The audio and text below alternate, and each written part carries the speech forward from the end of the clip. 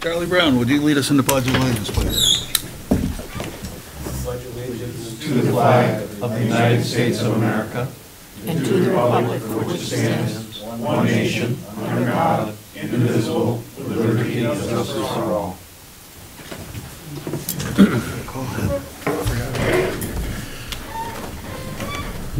Need a uh, motion to approve the agenda? So moved. Second. Any discussion? Hearing none, all in favor? Aye. Approval of the minutes for June 10th? Make a motion to approve the minutes for June tenth, twenty twenty-four. I'll second it. Been moved and seconded, any discussion? Yes. Mary Lee? Um, First page, citizen comments. The last line, the board thanked the Lions Club for their, should be time and effort, and will do all they can to uh, get the sign installed. So I want to add their time and will at the end of that sentence. And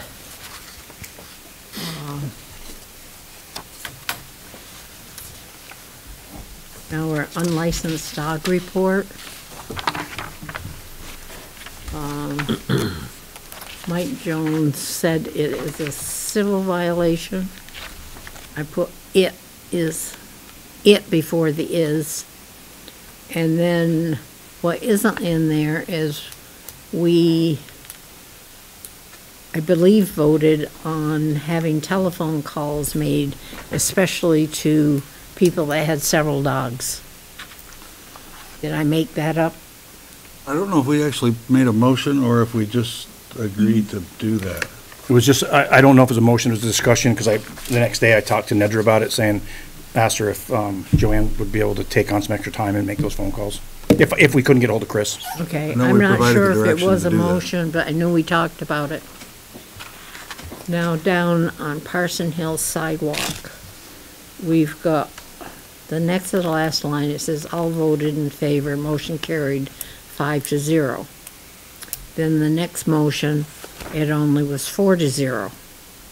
Now, I know Bob came in late, but if we have a five to zero, then it doesn't seem the four for zero should be after. From then on, they should be all five, right? Yes, I wasn't smart enough to unmute myself. Yeah, I he- kept pushing the star button instead of the pound button or vice versa or whatever. I kept actually- hollering, I kept hollering, said, can you guys hear me? Obviously, we could not. You never answered me. Yeah, there, were- there were several that he didn't vote on. That was me. Oh, so all these that are four are okay? They need to be four and not five. Okay, I was wondering if it was because you couldn't get through or something, and it No. turns out that's the case. I listened to all of it. Yeah, that was the case. I hadn't been drinking that Excuse night either. Can I, I believe can I that. interject in there? Certainly.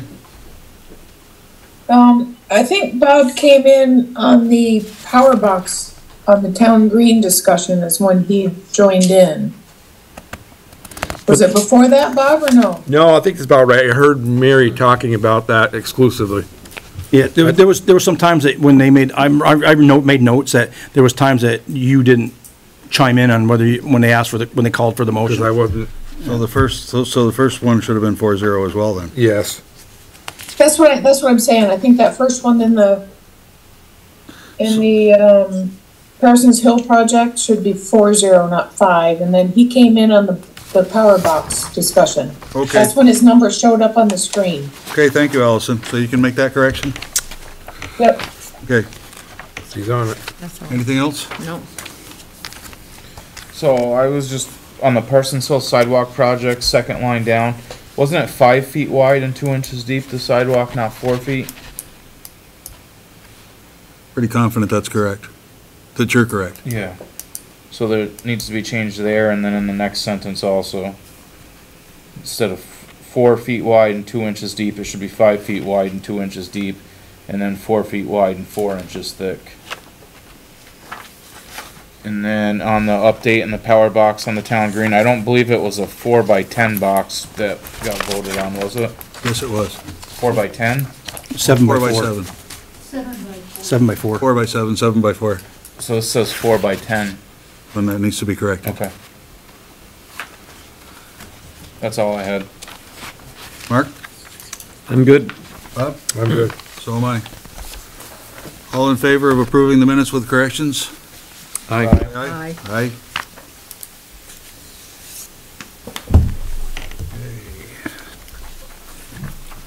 Citizens' comments, items not on the agenda. Charlie, can you come up to the podium, please? So in the mail on uh, Saturday, we got this nice letter from the town of uh, Owner, people that rent their properties. Um, And uh, I was wondering where it all started. And I hope somebody in this board can explain to me how this got this far, if you guys didn't know about it, and ladies. Um, Mike, did you, didn't have to make copies for them? Not of that, I, I, I- but Mary Jo's here too, so, um, I had, after we talked today, Charlie, I talked to her, um, and I, and Bob was in the room, and, um, it was not on the select board agenda, we know that for a fact, and it was nothing that I approved, um, on my own, I, I didn't ever see the copies of them, so that, it wasn't that, so, So, does anybody know how it came about then? Can Mary Jo tell us how this came about? Mhm. Because we want to remember one thing, over eighty percent of our taxes goes to the state of Vermont. If the state of Vermont made this happen through our listers, then we got a big problem. You guys are fathers and mothers of this town, not the state of Vermont. We, we own this town, us taxpayers, everybody that lives here owns this town, just like the state of Vermont, we the people. And it looks to me like we're being, having something shoved down their throat. This is a pretty slippery slope. When they start, they want to know how much rent you're charging, but they don't want to know all the other expenses that come along with it. So apparently they want to raise your assessment to make up for that rent that you're charging. So what's going to happen next? They're going to go to you, Mark, and say, okay, your, your cars that are on your lot, we're going to start charging you a higher tax rate on your property because you've got this many cars on your property. Are they going to go to you, Mary, and say, next time around, you're shipping this much milk off this farm, you're going to be taxed for that in your property taxes? I didn't get this letter that you're talking No, about. because you don't rent properties, do you, right? Oh, So okay. Charlie, you have me at a disadvantage, so I have no idea what you're talking about. Okay, well, that's why I was hoping that he would have made up these letters. I didn't, I didn't, Mary wasn't, there wasn't there today, and so I didn't have access to them, so. Okay, well, I would wish I'd known I'd have got it. Uh, I'll pass this around. Well, we're, Do you want to just explain just a little bit more about what that is, Joe? So what they're doing is, what they want to do, what the listers want to do, or lister, or the town, somebody, they want to start, they want us to send, everybody that rents a property in the town of Castleton, they want to know how much we're getting for rent. And they want us to fill out this form and do all this paperwork for them and then send it to them. So apparently, somebody, either the town or the state, somebody wants to charge more taxes on our property because we're making, getting revenue off it, but they don't ask how much it's costing you to have that property. And I'll give you an example. My wife and I used to own a house on Sand Hill Road that we rented out for years. And we did it for down the road to sell it when we get older, like now. Okay, so it's sold now. So for years, the payment, the, the mortgage on it was twelve hundred dollars and sixteen cents a month. But we were only getting a thousand dollar rent. I saw it earlier. We were paying the difference, and then we paid the property taxes difference, and we paid the taxes, or the insurances difference. And that happens with a lot of people that are renting stuff. It's only because they're trying to get that little bit of extra. Now, they're asking you to give them your full amount of rent, what you're charging for rent, but nothing else. They don't want your income taxes, they don't want nothing else to show that you've already showed all this and paid taxes on it through the federal and the state side. Now they want to tax us higher rate, apparently, is that what they're doing? If, if, I, I'm happy to Yeah, well, chime I- in. I'd like if you somebody wanna to give me explain a it. chance. Because Okay. I'm gonna tell you, I'm just one person, but I tell you, I've had more calls today on this from people that rent properties, and they are all really ticked off. well, Charlie, I'm gonna ask you to, to let us digest this and understand it, and then I'll be happy to discuss it with you. But it's gonna take me more than thirty seconds to read this and understand it, so to the point where I can. Well, I can, would have hoped that, that you guys would have got copies. obviously, we did not. If I could give you an overview. Um, and the- can I'm gonna let Mary Jo talk for just a couple of minutes, and then we're gonna read this and understand it, and then I'll be happy to call you and talk to you about it. No, I- you're gonna have, you're gonna be talking to a lot of people. Well, I'm willing to have that Charlie conversation. Brown, there's gonna be a lot of people that's gonna be really up in arms. And if we need, if we need to, we'll put it on the agenda for next meeting. Because, But- uh, we're going down an awful, awful slippery slope here. Next time, like I said, they're gonna charge you for your cars you have on your property, Mary for the milk she's selling, Mary and I for the vegetables that we're selling.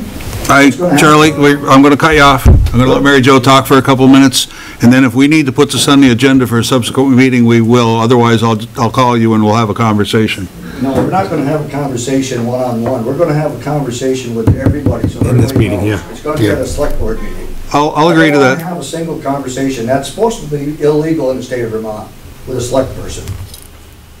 I don't wanna have that conversation right Well, now. I was a selectman anyways. Um, I, I'll agree with your request to have us, have this at a select board meeting.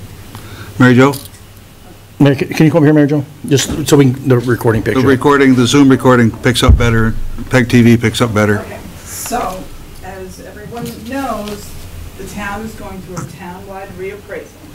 The town has hired a company called Tyler Technologies to facilitate this process. Um, When you, when you're doing an appraisal, there are three methods of coming to um, valuation. One is cost, one is sales, and the other is income. This letter that was sent out with my name on it, on behalf of Tyler Technologies, was sent to businesses in town, uh, partic- particularly um, commercial rental properties, people who rent um, apartments, multi-apartments, things like that. There should be an, in- not only an income form, but there should be an expense form. And typically what happens is you're listing the income and you're listing your expenses. I believe there, there should be two forms, at least two forms in that There was, Okay, There was, there was. okay. And then there's a formula that they use, um, they they have, they figure out cap rates and all these things. And it's one of the three methods that they put together to come up with valuation. Um, it- It's, it's, it's just part of the process. Um, It's one, one of the methods that they use. Um, If the select board wants everything that they pass forward to come before them before it goes out, I'm happy to do that.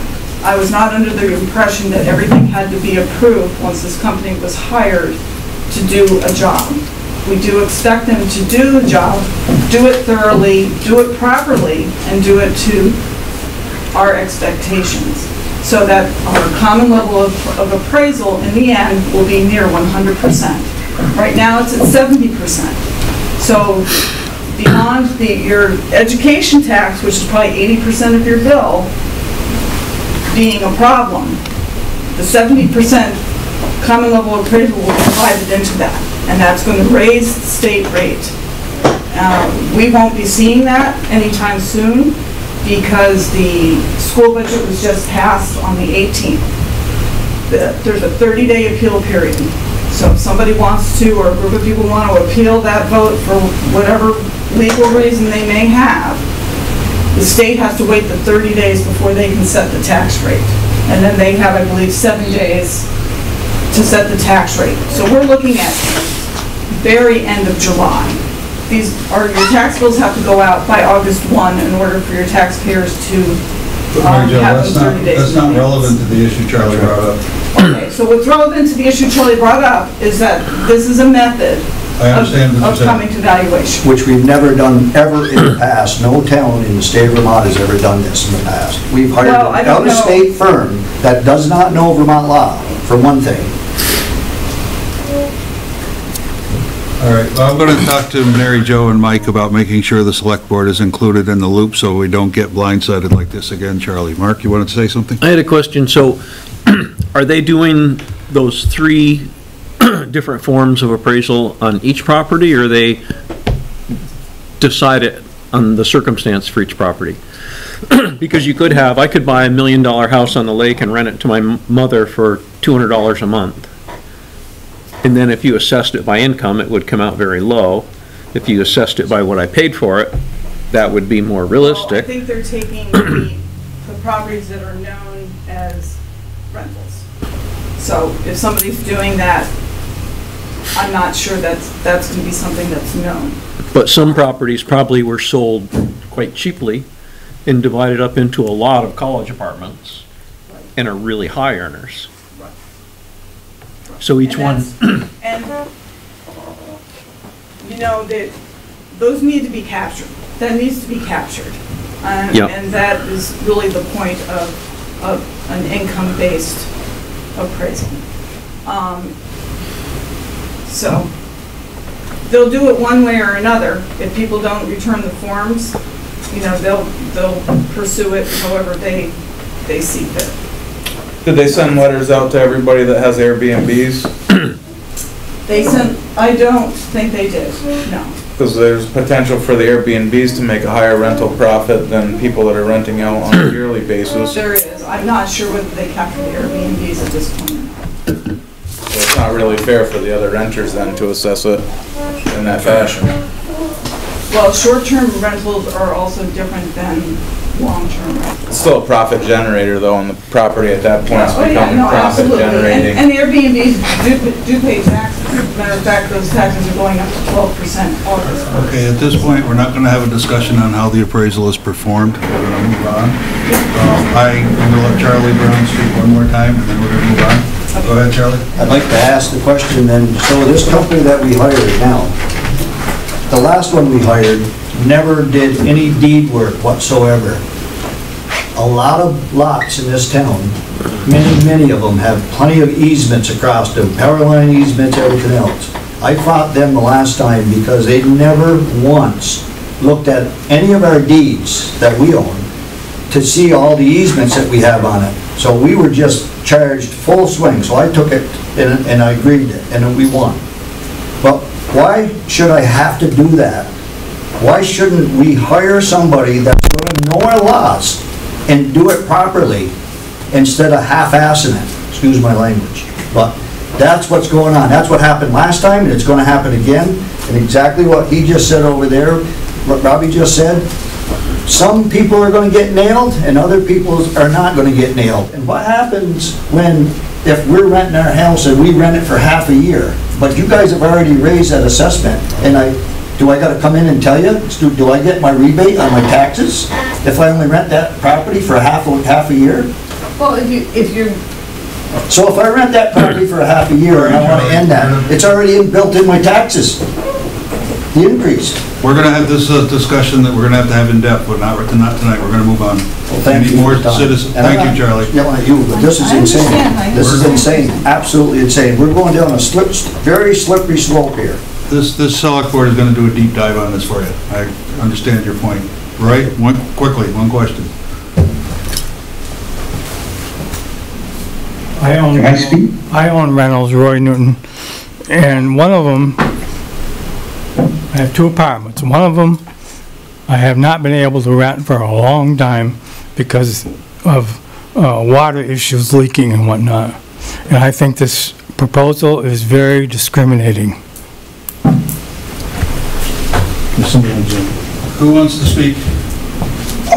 I do. Dave Richards? Go ahead. Can you hear me? Yes.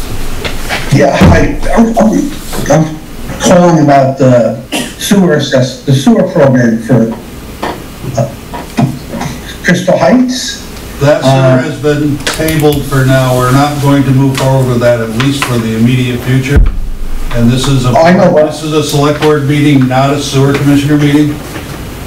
I will be happy to, you're the one that I've, we've been playing phone tag, so I will give you a call. Yes. tomorrow. I'll commit to that, and we'll talk. Okay, okay. Thank you. If, You're welcome. thanks. Please relay to me what, what comes of that. I will, but we've been playing phone tag. I- I've talked to him a couple times, yeah. Yep, yep, I'll make a point of getting hold of him. thank you. He called me today, but I was on the road and I couldn't talk. Are, are you, I di- I don't think you said this, I just want to make sure, do you say you want this on a future agenda? We're gonna do a deep dive and then we're gonna make a decision.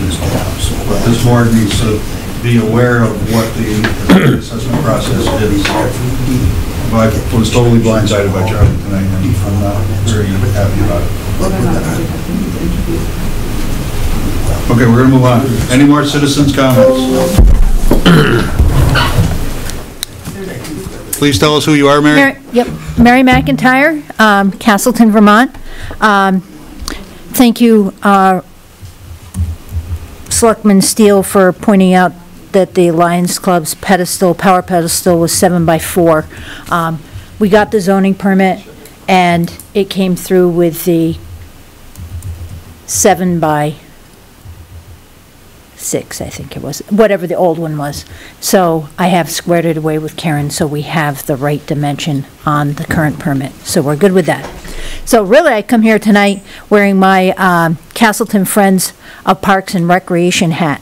Um, So just to keep you up to date, we had a coin drop that was very successful.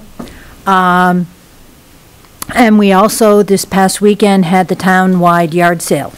Uh, That was uh, an event that the community center had hosted for years, and they chose to drop it this year. And uh, town manager, uh, Mike Jones, um, brought it to our attention to see if we would be interested.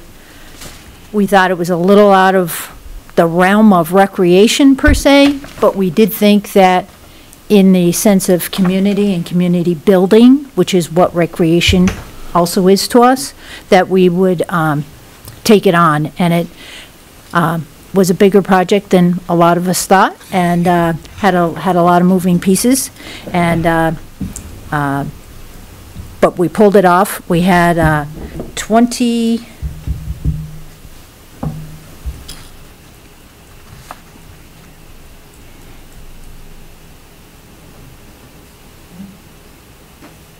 we had 27 spaces um, in the, in the gym, and we sold out all of them.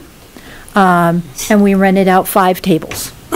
Um, So it ran from um, nine to two, I believe it was. And uh, Mother Nature, um, I think, came through for us in a, in a sense, in that it rained. So it served to be beneficial that everybody rented spaces inside. And, uh, you know, uh, the nice thing about it too was that um, people got to see um, the structure. We had a lot of uh, positive feedback. We had um, people wondering how they can rent the facility.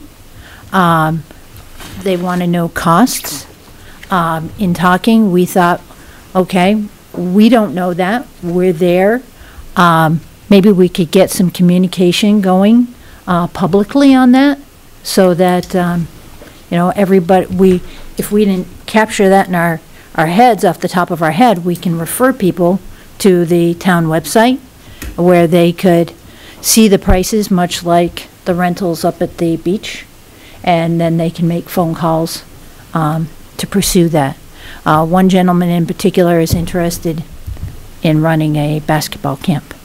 Um, So I think it served a, a lot of good purposes, and um, if you get a chance, um, Lori Kamuta uh, did a fabulous um, bulletin board of everything that's been going on in recreation for the past year, and she, she did it in uh, realm of a flower garden. And she's got our meetings, future meetings coming up posted there, and she's got the turkey trot. So it's, it's pretty exciting in and of itself just to look at that bulletin board. Um, So, any questions? Where is that bulletin board located? Right across from where the uh, home ec uh, Uh, in the- was? in the village school? Right, right in the village school. Okay, I Yep. missed that. Oh, that's okay. Well, um, so that when people were coming through to get to the gym, they could see what was happening. Because that, that seems to be a, a disconnect, and I know that John's been really busy working on the fields and everything, but that still seems to be a disconnect of people are wondering what the events are, when they're gonna happen, and they're still looking for events. But hopefully, um, John slows a little on that, uh, some programming can be done, and Friends of Rec can help with that. Um, You know, I think we have a lot of Castleton residents. I think there's some out-of-town residents that are a little interested in, in, you know, being involved, but I do think there's a lot of town residents. And of course, when we're talking taxes and everything, I think we have to be very careful that we do let town of Castleton members get involved, uh, if they want to be. Um, so, but, uh, getting a lot of compliments as well on the, uh, how good the fields are looking. They are, we, we took a look today and we can see the progress that's being made. Yeah, and now people are just anxious to see programming in the building. So, thank you. You're welcome. Thank you, Mary. Thank you, Mary. Appreciate all your work. Chief, you're up. Oh, I'm sorry.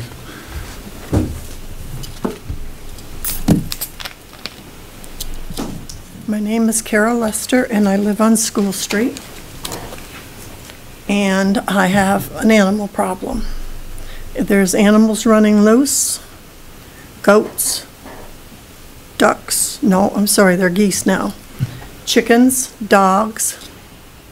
I've had to call, um, I talked to Karen, she said I needed to come talk to you so that you see there's a real person that has problems with this little zoo on my street. Um, I've had to talk to Dr., uh, to yeah, to Chief Mantello. Um, we've had to have the police come a couple of times. Um, I have, I took pictures of the goats in the neighbor's yard on my way here tonight. Um, it's become a, it's become a battle um, between two families that uh, compete with each other for animals. But anyway, I real, I need to tell you, we need to have zoning that would say that if, if you want animals, they have to be kept on your property. When you've got a half an acre of land and you've got a bazillion animals, doesn't cut it for the neighbor. Um, You know, it's this free range thing. Well, if I wanted animals, I would have them. I could have them. But I choose not to, and I don't want my neighbor's animals. Last year, I had one neighbor, she let go four rabbits. Well, one of them lived under my deck for most of the summer, and they got big enough. And, I mean, it was like the clover in my lawn, my flowers, I mean, it was, you know, you can't have anything. This was a domestic rabbit? Yeah, yeah. But they think it's cute because, oh, well, you know, everybody loves them. It's like the neighbors, um, we have a new family that have the little double wide. That was Martell's. And, um, they came up from New York. Well, they've got this big goat in their carport. They had to go buy a sweeper to sweep all the goat poop off. And they can't park in the carport because the goat was there. And now she's had two babies and they've got another goat. So one neighbor has them and they, they just let them go. And they collect dogs and it's, I don't want the geese in my yard, I don't want the goats in my yard, I don't want the chickens in my yard, and, and they're eating up, the goats are eating up all my neighbors now. Kathy Egan lives in the brick house on the end of School Street, Park Street. They've eaten up her bushes and her flowers. Linda Stevenson's across the street from me. They're chewing up her trees this high up. Her, her trees are all bare because the goats are eating them. Um, me, I have plants, flowers, poop in my yard, down my driveway. I mean, it's fun. But I think that we need zoning that would require the na, the animal people to keep their animals in their yard. If they want animals, their yard should be fenced in, and the animal should be kept in that property instead of allowed to roam the neighborhood. I have to agree with everything you're saying. It's, I, I would expect that my neighbors would control their animals as well. So what I will do is this, I, I don't have the animal control ordinance in my head. I will make sure that I read that tomorrow, and I'll talk to the town manager, the animal control officer, and the police chief to find out what we can do to help you legally. And then, at, at minimum, I'm sure we can make some phone calls, but there has to be more we can do. But once again, I don't have the animal control ordinance in my head to, to No, but I think there's something in there that you can only have a certain number of chickens and you, you can't I You can't believe- just let them run free. I believe, You know, I would certainly hope if we did one that it sort should be written in there, keeps your animals in your own yard. I But they mean, have to be fenced in, because these people Yeah. are not responsible. however, Oh, we- however, ma'am, right now, I- all I can tell you is what we think. I don't know what we know, so we're gonna have to I figure know out what. Chief we- Mantello's been, and he's talked, he said you can't be letting your animals run loose, and he no sooner leaves the, the the yard and their, their animals are loose, so they don't even respect the fact that, uh, Well, I will not make a promise I can't keep, so what I, first promise I will do is I will look, making sure I understand the ordinance and see what kind of teeth it has and what we can do to help you. okay, And if we don't have the right teeth in that ordinance, then this board is probably, at least three-fifths of this board right now are ready to do something about that, thank you, okay? I appreciate that. Mike? I just, M- Ms. Lester, uh, have you been able to contact or get a hold of the animal control officer? Um, that's kind of a funny story. At one point, he told me that he was afraid to come down my street because we have a couple of the, these animal owners are very hostile. So he doesn't like to, so when I call, I leave him a message, and then I call Karen, and then Karen calls Chief Mantello, and he comes to visit, but no animal control. I say, please call me back so that I know that you have gotten this message and you're going to respond to it. Nothing. So, Thank you. All right, we're gonna fix that too. Anything, anything from the board on this before we move on? Charlie Charlie's got a question here. Charlie? Do you guys still, still appoint a fence viewer in the town? We do. So wherever your fence viewer is, anybody that has animals in any town, and this goes back two hundred years, the fence viewer, you have to have a fence around your property. And, and, uh, as you're looking at your property and your neighbor's looking at you, you're supposed to build a fence to the right, if he builds the fence to the right. The fence viewer would show up, and if that fence isn't built, then they're responsible to build it. That's the law. Bob's Thank the you. fence viewer. checking fence viewer for one thing. I don't- That would be me, Charlie. That's you. Well, what's the law, Out Bob? of the three. I was told it was a, a mute position, but now you've enlightened me. Now, that fence viewer is one of the first people they put in place when they created the Constitution of the state of Vermont. Do you know what kind of teeth are in it, Charlie? I mean, It's, it's, I'm not afraid to go show up there like our animal control officer is, and I'm not I, making you haven't used it, you know, like, if, if I owned a farm and you owned a farm and my animals kept getting on you, okay, that fence viewer would come around and said, hey, Charlie Brown, you better be fixing that fence to your right, and your neighbor better be fixing it to the right as he's facing you. That stops the problem. Okay. That's what a fence viewer is all about. It's been in our constitution, it's been around for two hundred years. It always has worked. But a lot of people have gotten away from it, going, they always go to the police chief or somebody else. And, uh, Well, we're gonna find out just where the teeth are. We need to fix this, okay? Yeah, there's state statute too, Bob. We can look it up. Got one question. Go ahead, Mary Lee. Isn't there a leash law for dogs in town? Only in certain parts of the town, not in that part of town. Only, in I think it's just in the village. I think you're right. Pretty sure, we- I remember going through that. We talked about that for a In the long time. cemetery. All right, so Do anything they else? cross the road? Mark? Do they cross the road? No, do they cross School Street? Or are you a neighboring property? The animals crossing the road there? to get your you mean like across my street? Yeah. Oh, yeah, yeah. That's illegal. All right, we're gonna, we're gonna do a deep dive on this. I'll start work that process tomorrow. I got 'em And if the board has to have a special meeting and go, go visit School Street, we'll do that. You got your work cut out. She's got a, Royland's right down there's, there's one more thing we need to get done, so we'll get it done. All right, anything other, else for citizens' concerns? Okay, Chief Mantello, you're up. Okay. Well, I do want to make a couple comments on Miss Lester, uh, when I did meet with her, and, so we've documented two cases on them right now. So the third time, you just go to the civil process and issue tickets. You know? We did that with a person uh, down on 4A with their dog, and they keep still letting it loose. I mean, there's, there's not much you can do about it, you just keep, and, and that, that particular person's at the hundred dollar fine max right now. So, I have tried to contact our animal control officer, and I'm actually pretty upset with that, but I may have to go visit his house at night, in the dark, like at ten. Because I can't get a hold of him. He doesn't, he's responded once since last week. Um, all right, we can move on from that. I handed out you- the, uh, the reports for the monthly reports. Uh, I'm kinda gonna go through this, uh, some of this pretty quick. There's, a- there's definitely some increases from our call ratio from, uh, April to May. May, obviously warm weather comes in, so, uh, we have increased that.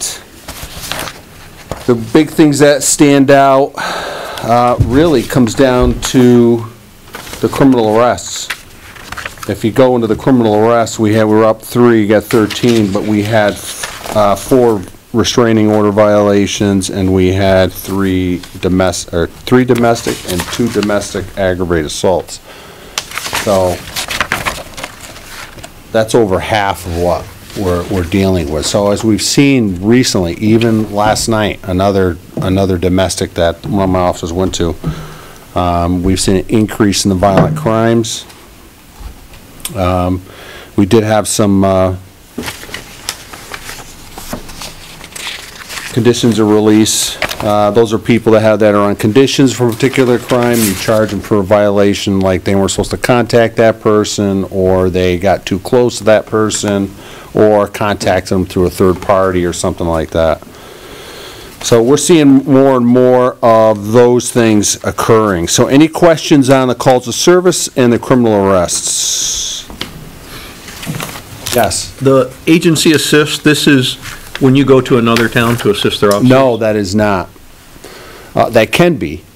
So out of that 14, if you look at our agency assists, I think we did 10. 10 of those were part of that 14. Four of them could be, um, serving a subpoena through the, uh, from a state agency to somebody be a witness or something like that. And those other communities reciprocate? What's that? The other communities that you assist with, they reciprocate? Uh, on the average, probably not. That's always been an issue here. We, we've discussed this since I've been here for ten years over this. We've cut it down. Um, but that's not, the- uh, this is not, this is not the place to bring it up, because it'll get ugly. Okay. I'll just leave it at that, Mark. I'm not trying to be, it's just, uh, it's been a frustrating thing. Um, you know, that we had that one in Poultney, if you look on the net, the, one of the last pages, uh, Poultney, uh, know, we do, we do, we do assist agencies. VSP has backed us up. I mean, Fair Haven has too, yeah, but, uh, we're always, see, the, this is the biggest, this is the biggest thing, and this has really been a blessing for us and a curse for this department, because we are easily available. We answer our phones. I can't tell you, we've seen the increase in the last six months of people calling from neighboring towns trying to ask for police. It's like, well, this is Castle, we don't patrol Poultney, we don't patrol Fair Haven, we don't patrol Benson. So, because we're accessible. So it's bet, that been, we have that phone out there, that call box goes to our cell phone. We have a on-duty cell phone. So anybody calls that 5012 line, it goes to that cell phone. So the on-duty officer has that with them all the time. And then, of course, we got the office number. So we're seeing more and more people just not getting services elsewhere. They know we have the reputation that we do what we're supposed to do. I'll just be straight up. We answer people's phone calls, we go to the complaints, you know? Well, let's go, just one thing there. The complaints you go to are the ones in Castleton. Correct, Or if VSP or Correct. Fair Haven PD asks you for backup. Correct, that's what I mean, yes, I'm not saying I go to all these If other somebody towns. calls you from Benson. It's, it's because we're, we're, we're available, they see us, they see this, you know, that, a lot of people think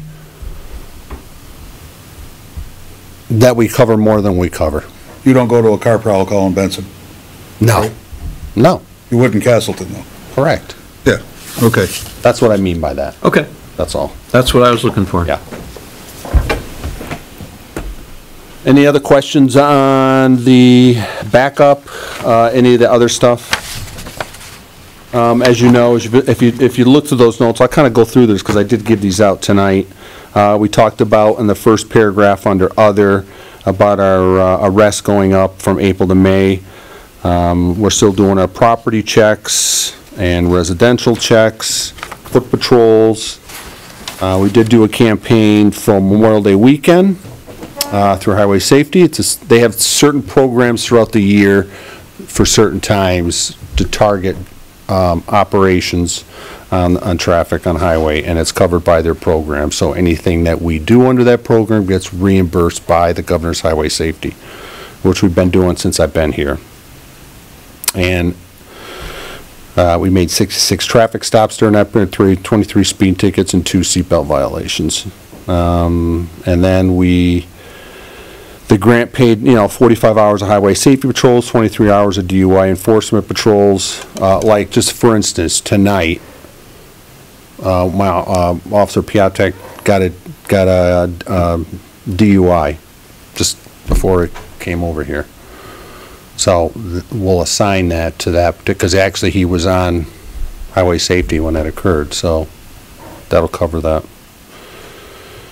Uh, he also, Justin also, we were thinking we were gonna, we don't really need any new vests, but we applied for the body armor, um, grant that's through every year that's funded. We, uh, they pay fifty percent, and we pay fifty percent. So we try to replace, replace vests, we're talk- we're talking, uh, uh, the bulletproof vests, depending on the wear, every three to five years. So we're in rotation now, where two officers need to get changed over. And you got a year to use that, that money's from there. Did our sex offender registries, uh, and we also, which we only have six that are registered in Castleton. We have to do it every quarter, we're mandated by state law.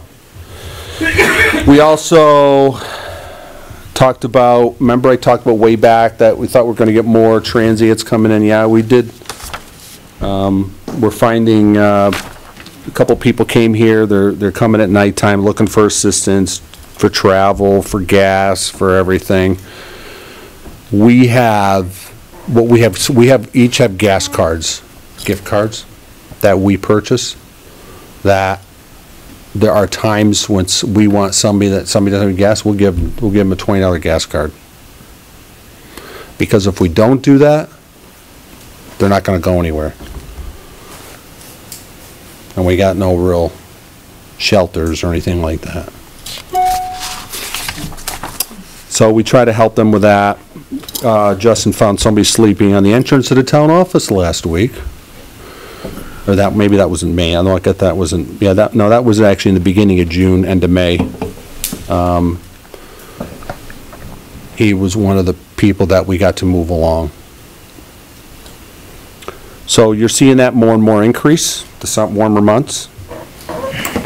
And, um, any questions on the report? And I do have two other new items I gotta bring up to your attention. Any questions on the report? I have none. Yes, Bob? On that sex offender registry compliance checks, what exactly do you do? We have to make sure that that address, they're, have to comply to state law that the address they're at is, that's where they're living. So you So- drive to that Yeah, address? we could drive to, it. we know most of them. Like, we know where they all are, so, yeah, we have just to make sure that. Physically see if they're there? Correct. Well, I mean, they could be working, but we have to know that that's their address. That's their domicile, Yeah, correct. Because if not, it's a violation. because they have to live where they say they're gonna live. Correct. Uh, remember I told you about the, or any other questions on, on the report? No. I told you about the, uh, the speed limit, uh, that we, we did get, uh, the speed limit reduction for Castleton Four Corners. Actually, no, I told you that they were gonna meet June twelfth. Well, they passed it. It's gonna happen. So where is the So- boundaries gonna be? All right, so I have a certificate here that's, that's gonna go to, it's gotta go to the town on indicating, so the speed limit, this is, this is only south and north, not east and west. Okay? based on the accidents coming and usually that way. Uh, 35 zone is going to begin .23 miles south of Main Street, Vermont 4A, end at Preston Lane North, and then the 40 will begin at that point. Where does the point two three come down, .23 miles south of Main Street. down by the Grange? Yeah, I don't know, yeah, Range that's over a in quarter Fort mile, so whatever that would be. So it'd be thirty-five to the, the light. 35 all the way to Preston Lane. Oh, okay, okay, yeah. Because right now it's 50 to the light, isn't it? No, it's 40. Forty. It's 40. Yep. I'm usually doing I don't, I don't go up through there very often. I do, I'm gonna tell you. I come flying out of the castle, and- yeah, Yeah, Fifty. I'm going fifty. so they are going to put a work order, out. I got the letter here, will be issued to the Vermont Trans Maintenance staff to install the required signs. A new speed limit will take effect once the signs have been installed. Um, no further action is required by the town, however, we recommend a copy of the certificate, a certificate number here, that, that, I'll give that to Mike. Um, be filed in town records. So, and they don't really have a time frame when this is gonna happen, but my guess, I can get a hold of, I know they're gonna get a hold of Jeremy, so I'll, I can always check with him. I think that's a huge plus for us.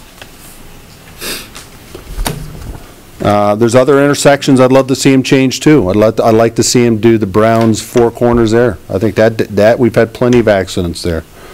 We've talked about that at nauseum to, to uh, Vermont Trans on that. Maybe I'll see if I can get them do a, uh, traffic study there. Absolutely, go ahead. When, uh, 1969, that's how far back that goes. That old barn on the corner that we owned used to come right into the road. My grandfather made a deal with the state that he would take that barn down, and they were gonna cut that knoll off and cut the other to the south off. They never did it. They could have done it back then for like fifteen thousand bucks, nineteen sixty-nine. They waited, they put them stupid lights out that only tell you one direction. They do help a little bit, but not much. They spent over a hundred and twenty-five thousand on that. So what the chief is saying, we've been fighting that for a long time. And we originally paid for that street light because of so many accidents there, my family, our family, uh, for years, and now the town pays for it. I still hate to cross that road, even in a cruiser. Yeah. It's, Because I'm trying to think, okay, that light isn't, what if that light's not working down there? You just don't know, and then by, the- you're in there, you gotta not go. only that, if they're coming from Poultney and they're in the dip, Yes. that light stops blinking, you take off. You look to the right, you think that there's nothing there, but they're in the dip, you can't see them. You can't even see a pickup in the dip. By the time you pull out in the Yeah. that truck or car is on top of you. So that, that one I think is essential, that I start working on that one, getting that one squared up. So maybe we at least get a traffic study, and maybe they'll, they'll look at the accidents, as we've had, last year, I- I'd have to look at the, uh, the the statistics, but I know we've had three or four last year there. I mean, they weren't, I shouldn't say, not, there, uh, every accident's serious, but nobody died. But still, they were some major, major crashes. In my lifetime, we've had at least seven to eight people die there. Yeah. In my lifetime. I can remember, since on the fire department, at least two or three. Oh, yeah. It's huge. Heath will tell you. It's a sucker to, uh, to balance it. All right, let's move I on, wanna- chief. I, I want to cover one more thing, sorry about that, took longer than, um, I do have the new contract from the, for, for the SROs that the school's gonna pay out for next year. I need you guys to look at that, and I just need the chairman to sign it, I gotta have it by tomorrow morning. We do this every year, it's the same contract. This is the same, everything's the same as last year? Absolutely. The price, the, the fees didn't change? Yeah, well, no, they changed. They're paying it, they're not, we're not paying anything, they're paying us. It, it covers everything. We're paying the taxpayers. Well, true. Taxpayers are paying. Yeah. It's not coming out of the town budget, at least. Correct. So that's, um, that's a copy, leave it for you guys. Do we need They're to- paying you the same as last year? It's gone up because, because our pay has gone up. Okay, so it has gone up to accommodate that? Correct, Covers wages, benefits, mileage. correct, correct, correct, Still covers all your expenses? correct. Just real quickly, Pete, what schools does it cover? It'll cover This is the CES, same thing we did Benson, and last year. Orwell. CES, Benson, and Orwell. Just these three. In the future, I would prefer more than five minutes notice that we have to review this and approve it. Yeah, I mean, you know, I mean, if you can't get it done tonight, but I, Well, we're, we're gonna do it, but in the future, if you can give us at least a, that, provide it to us before the meeting, so we know what's coming. I was given this this afternoon, so I, that's, I'll take the, I'll take the hit on that. Well, at, at least before the meeting, so we know what's coming, so we all have a chance to review it for five minutes. Yeah. Wanna make a motion, Bob? Please. Okay, let me see if I can talk with this. I make a motion to approve SRO contract between Slate Valley Union School District and the Town of Castleton's Police Department for a total of sixty-seven thousand, two hundred and sixty dollars for twenty hours payable in one lump installment.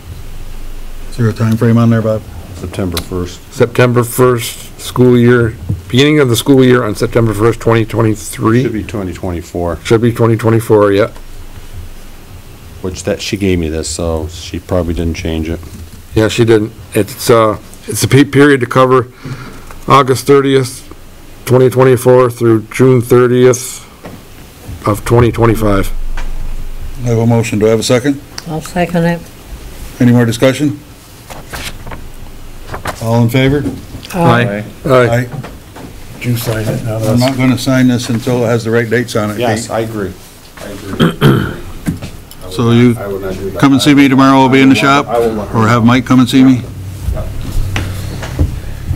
So that is, uh, my report and all the information that I have. Mr. Chairman, I say something? So, the, I signed that purchase and sales agreement for that vehicle today, and did you, know? the- did you get a report of the break-in up at the cemetery? Yes. Yep.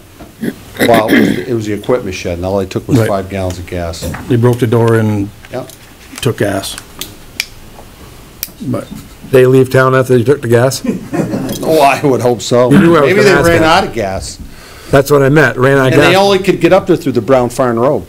And you could get a, you gave them a gas card, so then they left town. they, they ran out of uh, gas at the town office and then fell asleep on the steps. Yeah. Probably the same All guy. right, let's move on. All right, Oh, just, yes. were you gonna cover something about the police vehicles going home, or that doesn't It's on the agenda. Oh, so he's coming back. He's right here. Okay, Okay. It's the next thing on the agenda. okay, so he's staying right uh, there. The, the, the, the the vehicle use policy. That's the next thing on the agenda. Correct. Chief, and you're in just the right place. Yep. Um, he was going to sit down, so I just, oh, I was actually. no, you're not. It's on, okay, so the next item on the agenda is the police department vehicle use policy, and we've been through this numerous times over the last three months. The only thing I found is on the bottom of page two, we should insert the word "not limited to." I believe, is your intent. Yep. The word "not" is missing, you see what I'm saying? I got a copy in front of me. It says here, he or she must meet the fo- following criteria, but not, li- what it should be, but not limited to, and then the Yes. criteria, instead of just but limited to. Okay. Um, yep. So, with that revision, I would be prepared to discuss it more if the board pleases to do so. I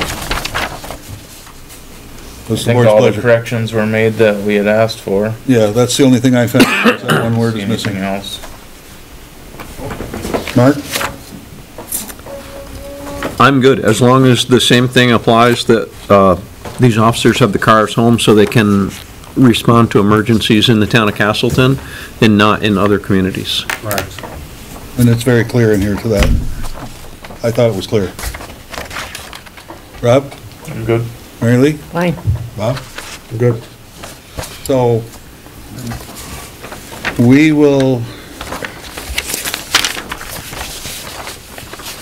I just gotta make that change. we gotta I'll make that change and then we'll ratify it, Absolutely. okay? Do you need to vote on it or just accept it? We can vote on it when it's, when we get a final version, we'll vote on it. He's gotta put one word in, should we just We could, we could vote on approve it it, now with- so we don't have Yeah. to keep going back we could to it? approve it with changes.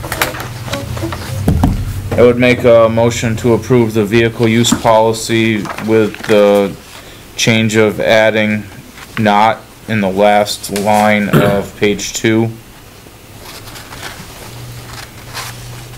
Do I have a second? Second. I'll second it. So moved and seconded. Any more discussion? All in favor? Aye. Aye. That's a good, sir? That's good. We're all set. Thank you, chief. Transfer station fee schedule. Uh, I'm going to defer to, we're going to give Mike the floor first. All right, so the board, last meeting, the board, um, I I presented uh, the- some proposed fee changes.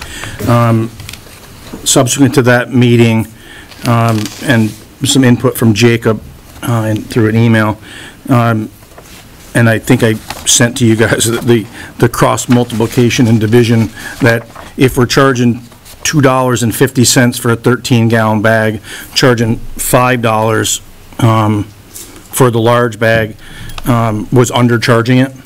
So, um, for the 33 gallon size, basically up to 36 gallons, it'd be, it's a little over $6, but it, it was miscellaneous change, so I made the recommendation to, um, for the board to consider the large bag being $6, not $5, as you approved at the last meeting. Um, And the mattress, uh, charge, f- um, seeing as we're paying forty-one dollars to get rid of them, um, there's, I think we talked about it last meeting, that charging forty-one dollars for that mattress is probably not gonna be to our advantage, but, so I changed it from nineteen to twenty-five. And the Freon, um, uh, for those appliances, um, that we, well, I'll- digress in a second. Um, from nineteen dollars to twenty, because they're gonna be, uh, there's gonna be an upcharge from the, for the people that do this. Um, and Rob, Rob Steele had sent me a copy of a group that takes these, uh, air conditioners and stuff, and they'll take them off our, off somebody's hands for, for nothing. Um, I don't know if they take refrigerators and freezers and stuff like that, but, um, it's something I can look into with, and get Jacob involved with it, that we reach out to them, and if they'll take those, so we don't have to pay to get the Freon out of them, they just take them. They'll probably recapture and reclaim that, that Freon and then use the scrap metal. Um, they'll get the scrap metal price as well. But, um, I doubt we're gonna get 20, 19 or 20 dollars, uh, in scrap metal price for, for a, uh, uh, air conditioning unit. So it would be, it would, it'd be to our advantage if they took them and we just got rid of them. Um, but we still have to contend with the things that they won't take, like if it's freezers or refrigerators or dehumidifiers, that kind of stuff. Um, but we should at least be charging what we're, what they're charging us. I mean, I, I, you could, I could shop, you could probably say, well, why don't we apply that to the mattresses, but that's just, that was a huge, huge blow. So we're trying to find different ways to solve that one. My wife had a thought on that too. She said anybody that's gonna pay twenty dollars to get rid of a mattress is probably gonna pay the forty-one to get rid of a mattress, and the person that's gonna throw it over the bank probably would throw it over the bank for twenty dollars anyway, so. Th- you- That's your, your pleasure. Um, Thank your wife for that comment, we, I mean, that's. for me, for me. I, I I don't know if I'd die on that hill, but, um, I'm not, I'm not on the select board, so. Um, And then, um, the minimum, uh, charge, the, the board had said twenty dollars for a minimum scale fee. To fit that in, because I have to backward, I have to do the math backwards from eight hundred and eighty a ton. So when you back it off every twenty pounds, um, it doesn't fit. So the, on the current schedule, um, eighteen dollars fit in at the two hundred pound mark. So if you charge a minimum of eighteen dollars for up to two hundred pounds, and then it would pick up as it, as it has been. The rate won't change, because if you did, you'd be changing the hundred and eighty per ton rate. And uh, that's, that we're the, we're the most around, so I don't know if that would be in our favor either. So, um, if, that's, that's the ment, the methodology or mentality behind that. Um, I believe those were the only changes. What were the two boxes Oh, that you, you yellowed? What is that all about? Eh, Hold on. I'm sorry, Bob, I was, I was looking at a Just- mistake. just wondering what Yep, this- yeah, because if you look at that, it goes from seven sixty, seven eighty, oh, I, I corrected it, okay. I had, I had highlighted it because it wasn't, I had missed a number in there. Oh, okay. But that's why if you look over at the far right column, there's two, th- uh, 2,000 pounds drops one below everything. I had missed it over earlier, so I, I fixed it, and I just gave you, highlighted that the minimum scale fee up to 200 pounds would be $18. So that would be my recommendation, um, uh, above and beyond what you, you already approved last, mi- last meeting.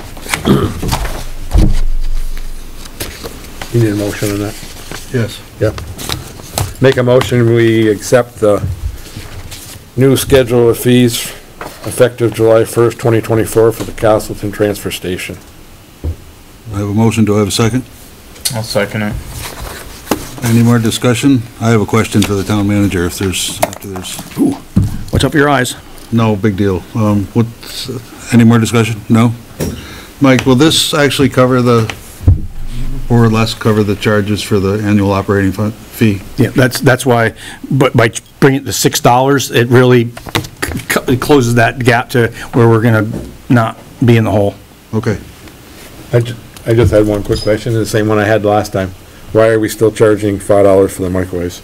Did you ever get an answer on that? No, I mean, if they throw it in the, if, if it's not, if, if they, something comes in that's not metal, I mean, there might be some out there that aren't metal, I don't know. I've never come across them, but, okay. Um, I can have, but give an answer to that, if you guys have a second for that. That, that's Go ahead, Jacob. Uh, the, the short answer is we aren't. Um, because of the amount of precious metal that is in them, they are something that we want to take in, not something that we want to try to discourage from taking in. So in the six months that I have been there, we have not been charging any fee for microwaves it is not really required. If, maybe you can amend the motion to take it off there.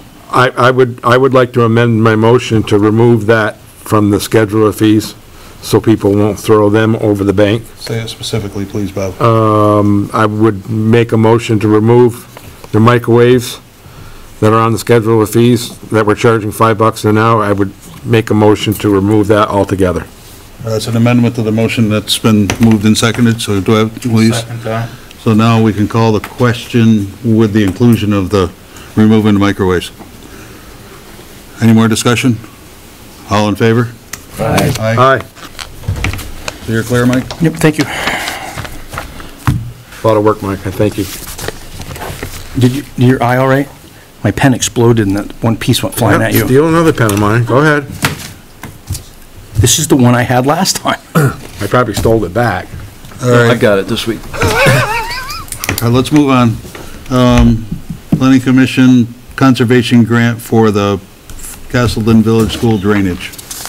The Okay. mis- The, the, uh, the uh, agenda could be misinterpreted to think it's some sort of a modification to the village school. No, this is, One person contacted me wanting to know what we were doing to the village school, and I told them it was about the stormwater drainage. it, it, And they said, oh, that's not what they understood when they read the agenda. Castle, it does say well, you gotta read the first line to, Yeah, no, that's, it it was, it lacked clarity, Yeah. so that's all. so yes, that, the, that one for the village school is, they're, they're just doing, calling it that because it's a part of the property that this, uh, stormwater mitigation, um, would be part of. Um, and then there's a second one on there for West Crystal Haven stormwater treatment. Um, These are both for grant, or these are both contracts for planning, correct? Correct. One, one's twen- twenty-six thousand dollars for this village school, twenty-seven thousand dollars for, um, the plan, this is for planning only, uh, for those two locations. These are not grants, these are, These are, these are contracts, no, there's five hundred dollars that, um, it's, you know, and it's, that's negotiable. Um, but, so our, our, the fees for the town, our, our share would be five hundred dollars per, per, um, so we pay 500, they pay the rest. correct. Do I have any motions for any of these?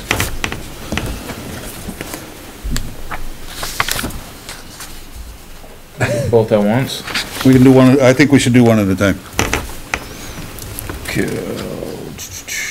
I would uh, make a motion to approve the con, subcontract, or the contract for the Castleton Village School final design through the Rutland Region Planning Commission and the Poultney Mettowee Natural Resource Conservation District. Does that work? Yeah. Second. for a sum not to exceed $26,000. For a sum not to exceed twenty-six thousand dollars. So it's- your second still good, Mike, or Mark? Yes. And just for clarity, everyone, our share of that $26,000 is 500. Any more discussion? All in favor? Aye. So it's the same thing with the West Crystal Haven stormwater plan, where our share is $500? Is that correct? Hmm. Out of 27,000. So do I have a motion for that one? I would make a motion to approve the grant for the West Crystal Haven Stormwater Treatment, Treatment from the Rutland Region Planning Commission and the Poultney Mettowee Natural Resource Conservation, Conservation District. For amount not to exceed twenty-seven thousand. Do I have a second? Second. I'll second. I have two seconds. Any more discussion? All in favor? Aye. Aye. Part one, Tom.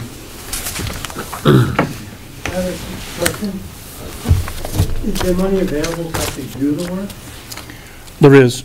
Um, uh, uh, Yes, the, so this was the first step in the process, but it was up to, I think, $185,000 for the, um, for the construction. So that money's available? Correct. Part of the plan was on private property? If, yes, to answer your question, so that's, there, that's kind of the linchpin for it all. Has that person been contacted? I'm not sure at this point. The, the engineer was supposed to reach out to him, and I'm not sure if they have or not. I've had a discussion with in that area, so I think they're receptive. Okay. Well, I'll just make a note to, to But follow not up on with a, more. for- not on a formal level, just in, in conversation. All right. Question? Uh, Yes, Where's the, uh, hundred and eighty-five thousand coming from? That's state funding, I believe. It, it is, it's state funding through the Champlain Southern Basin monies that were provided to the state of Vermont through the federal government. So there's no, uh, local match for that? It, that's one of those five hundred dollars ones as well. Our local match is $500. This is money that's come from the federal government to help clean up the sediment and silt that's getting into Lake Champlain from all the various tributaries, including the Poultney and Castleton rivers, Phosphorus reduction. phosphorus reduction, and and Mettowee.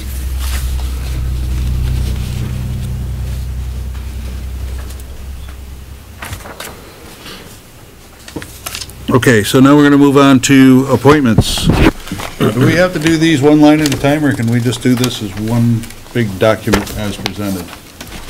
And then include the document in the minutes? Anyone have any idea? I think sometimes it's hard to find these if they're not, if you don't do them individually. All right. Who wants to do the honors? I don't know, but some of these haven't been done. Like, Well, I, I, Well, listen. wait a minute, I- I'm the not- the ones that are expiring in 2024 are all we gotta do. Yes. yeah, that's kind of what I was getting at. I at. just asked her to give you an updated copy of the whole, because Mary Lee has asked Sure. for this a couple different times. So we gotta distinguish what ones we gotta Should be able do. to just go right off the agenda, right? It gives when their terminal, when the new term will be over. Duh. I do have a question. For all these boards, do these people have to be Castleton residents? Not necessarily, depends on which board it is. No, ser- seriously, not necessarily, like, I, when, some of these boards, they do not have to be Castleton residents, and some they do. I'm not sure about the DRB. I know the select board has to be a resident of Castleton, or a registered voter in Castleton. Um, planning commission, I don't believe they have to be a Castleton resident, am I correct in that? One, of- I, I can't remember if it's the DRB or the PCs, one of them that they don't have to be. The planning commission doesn't, unfortunately. But but I believe the select board can make that decision, can make all of them be from the town of Castleton.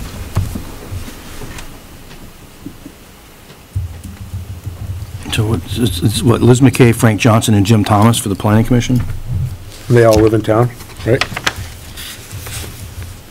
Well, one of them doesn't live, isn't DRB, year uh, round. DRB, nobody's, well, these all expire, oh, wait a minute. Pat Keller should be up for the DRB.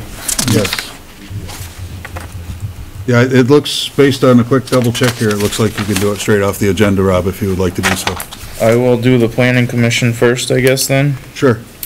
Um, I would make a motion to appoint the following people to the planning commission. Um, the first would be Liz MacKay for a two-year seat to expire June thirtieth, twenty twenty-six. Second one would be Frank Johnson for a one-year term, set to expire June thirtieth, twenty twenty-five. And the third one would be Jim Thomas for a one-year term, set to expire June thirtieth, 2025. I'll second that. Been moved and seconded, any discussion? All in favor? Aye. Aye. Um, I would make a motion to appoint Pat Keller to the, reappoint Pat Keller to the Developmental Review Board for a one-year term that expires June twentieth, twenty twenty-five. June thirtieth, twenty twenty-five, is that right? June twentieth, twenty twenty-five? Should be 30th. Oh, That's a typo. June thirtieth, twenty twenty-five. Did someone second that? Uh, not yet, but I will now. I'll second that. Moved and seconded, any discussion? So, All in favor? Aye. aye. I do have a question on the Development Review Board.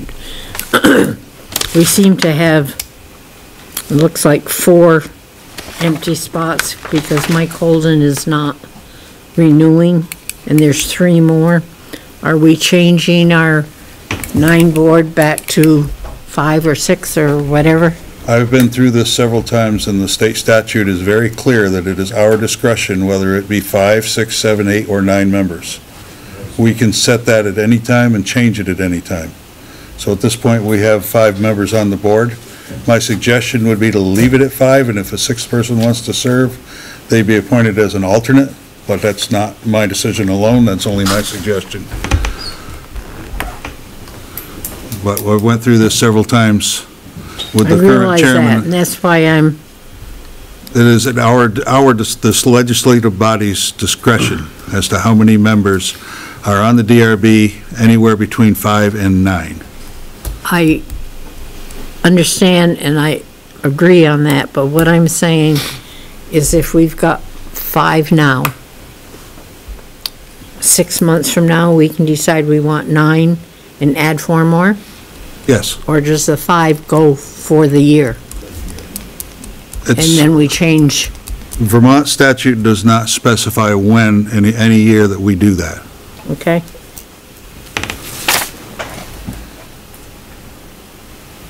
No problem. Just so I'm clear on that, so if we have two people come next month and wanna be on there, we can put them both, if we agree to put them both on, we could have seven. We could, if we so choose. Yep. We could also choose to appoint them as alternates, Okay, or not appoint them at all. okay. That is solely at the discretion, I mean, we went through this with a, a few months ago to make sure that everything was clear, and we even got council involved and got VLCT involved, and that's what the direction we got was, correct me if I'm wrong, Mike. Yeah, You're right. There was a lot of, what's the right word? Questions? Well, or misunderstandings. People thought they understood the law, and we thought we understood the law, and then we got lawyers involved, and And nobody understood it. we it. hope they understand the law. All right, let's move on. Three to nine. Three to nine, you're right, it is three to nine. Yeah, I'm reading it right now. It's three to nine. We can change it anytime we want. Yep. I knew, Have you called a you and I vote? went through that, Mark. Mm-hmm. We didn't call the vote. You didn't call a vote Not yet. Oh, we didn't call the vote? for the, for the DRB. All in favor of the appointments for the, D- for Pat Keller for the DRB? Aye. Aye. Okay, Rob, you're on the roll. I would make a motion, um, to reappoint Martha Clifford and Matt Ryan for three-year terms on the Recreation Commission, set to expire June thirtieth, twenty twenty-seven. I'll second that. I, I just, I just asked, with all the changes with Hubbardton and Castleton, are you going to have out-of-state, out-of-town people on that right board? Just wondering. Because just below, you've got a review of Recreation Commission bylaws. What does the review of the rec commission, what does that have to do with appointing two Castleton residents to the rec commission? Are both those people Castleton residents? I don't know. I don't know, Ryan I is don't not. think, I Matt Ryan's don't think Matt is, I think Matt's Hubbardton. I personally have no problem with Matt on the board, on the rec commission. Are we gonna continue to be good neighbors? I'm just asking the general public, not specifically at you, Mayor. I I haven't had a chance. You brought it up, so I, you know, But I want you to be informed, that's all. okay, does, are you, do you know something that's in the bylaws that we don't know? No, I d- have not read them, but I do know that there's changes because of the recent votes of, and I, I, I know that there are changes, but I don't know if there are a lot. That's not pertinent to this, that's not pertinent to this question, so I'm gonna call the question. All in I favor? just thought the select board would want to know if they're residents or not residents, and whether you're gonna have residents on all these boards.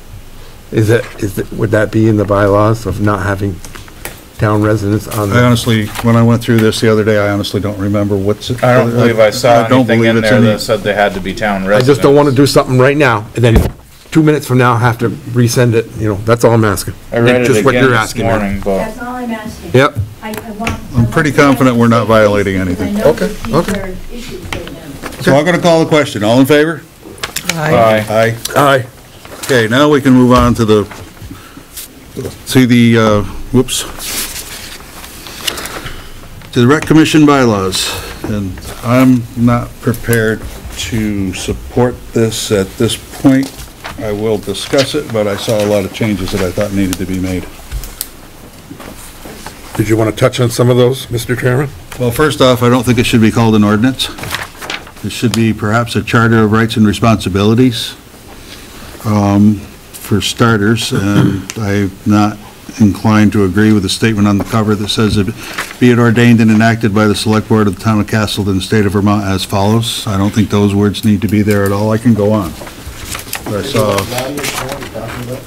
we're talking about a proposed, uh, rec commission bylaw document. I have an extra copy if you want it. Rec Commission bylaws, Charlie, and I think there's a little bit of work that needs to be done on this.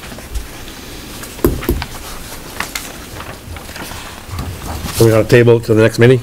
Well, I, perhaps the thing to do would be, Mike, do you have this as a Word document in your office? Um, Or I don't you? believe so, but Martha, Martha's, not- Martha can send it to me if I don't have it. Martha's hand is up, perhaps we should let her speak. Martha, if you want to unmute yourself and speak, you feel free to do so. Yeah, just uh, on the unmuting. Um, In regards to the first page, that was on the old um, rec commission bylaws, so that's why it got put there. Um, And I do have a Word document of this.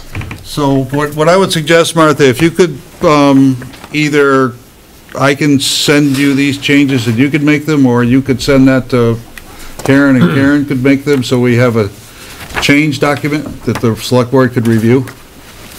Because a lot of the stuff I've got here is basic housekeeping, and there's a couple of things that I really have an issue with some of the content or intent. And I think it would be best if the select board and you and the town manager saw my thoughts before we took any more action on this.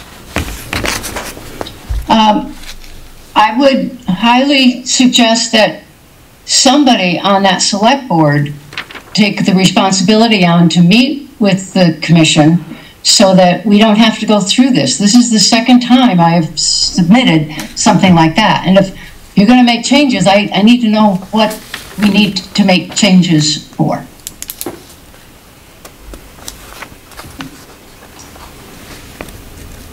I think short-term, why don't you send that Word document to me and I'll, or send it to Karen, and I'll get with Karen and we'll do a change document and send it to you, and then you and I can talk once you see what I have in mind, okay? Okay, I will present that um, at a commission meeting so that all the commissioners are aware of it. Okay, thank you. My question, on here it says review commission bylaws. And I looked and looked for my bylaws and they aren't bylaws, they're ordinances. Well, let's see, I want to change it to a charter of rights and responsibilities for starters. Because And I change some looked of the forever con- for this piece of paper because I was looking for bylaws. So Martha, we have a plan and we'll make progress on this, okay? Okay, yep. All right, so at this point, I'd like to motion to table this. I'll make a motion to table the Recreation Commission bylaws. I'll second that. All in, it's been moved and seconded to table the rec commission bylaws discussion. All in favor? Aye. Aye. Um, Mark, Mr. Brown, I wouldn't mind running this by you sometime tomorrow if we get a chance to see, so you can see what I have in mind. Because Yep. sometimes you're, Can you call me in the morning? I'm gonna be out of town in the afternoon and Wednesday. yeah, I can do that like after 10. Okay. All right, Or all day Thursday, Friday. I'm good. okay.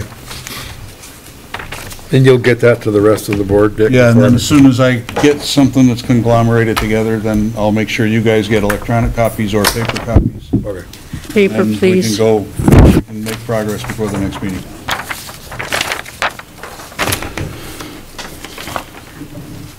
Road closure, east-west Crystal Haven, that's up to you, Mike. Well, I I wanted to bring it to your attention on, uh, before the board, because I can, m- my memory's vague on, on a conversation that happened at a select board in 2018 or 2019, um, where, where somebody from that area came before the select board and asked about why that road isn't open. And if I, my memory doesn't fail me, there was something said uh, along the lines that it was closed via a petition. A group came before the select board and with a petition to close the road.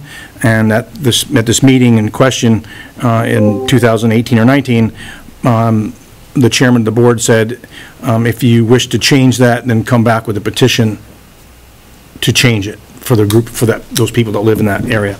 Um, Since then, um, uh, since 2018, 19, it's, every year it seems to be an issue, whether the road's open or closed, and why, it- why it has to be closed, why, it- why is it not open?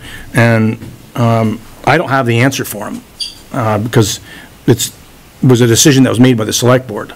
Um, And besides some p- parking space um, for people out there, I I don't, I I really don't understand why it's not open that people have to drive all the way down there, whether it's a delivery truck or whatever, and, and then find a space to turn around, and why we can't just drive through that place.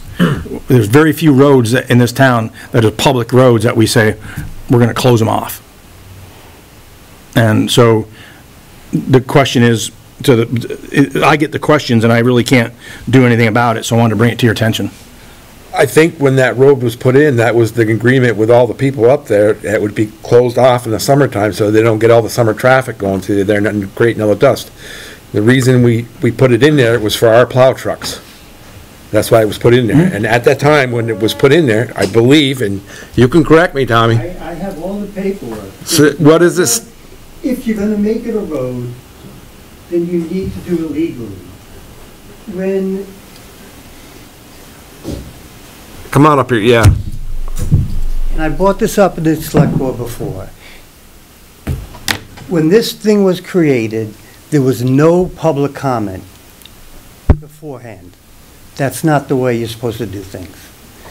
I think it's, um, when East Crystal Haven was improved, there was a road there, but it was brought up a class.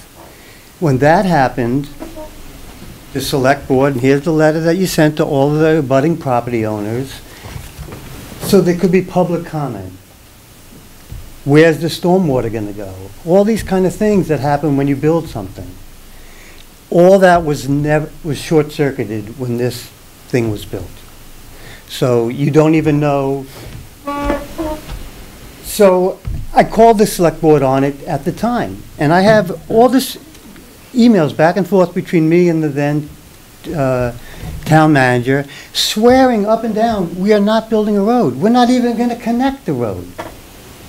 At that select board meeting, which you can all, I have the video here, you can all watch it.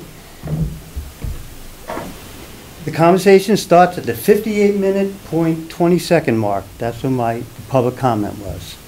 At the 1 minute point 13 second mark, the chairman of the select board at the time says the town has no intention of connecting those two roads.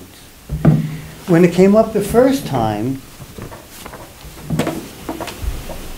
it was squashed because one, the road you built isn't in your right of way.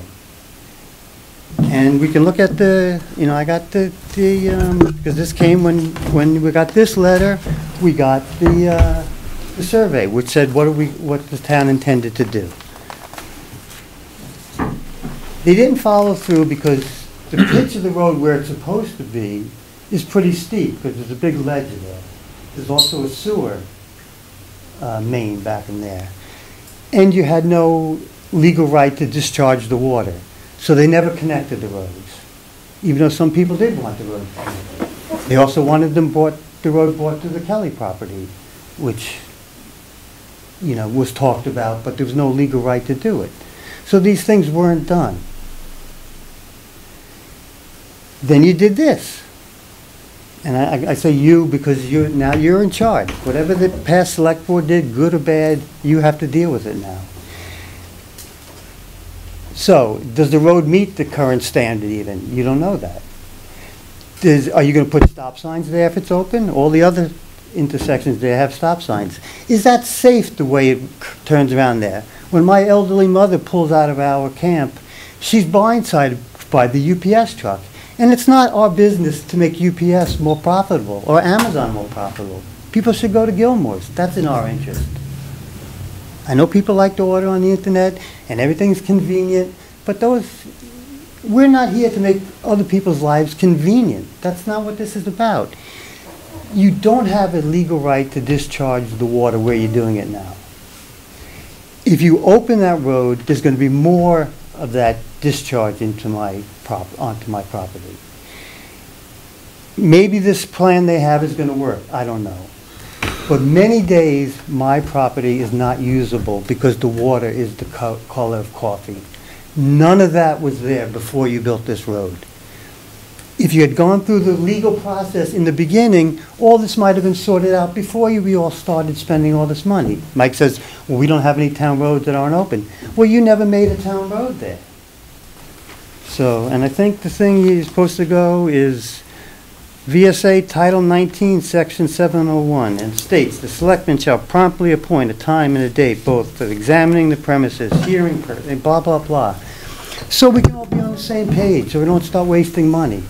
Now we're down this whole road.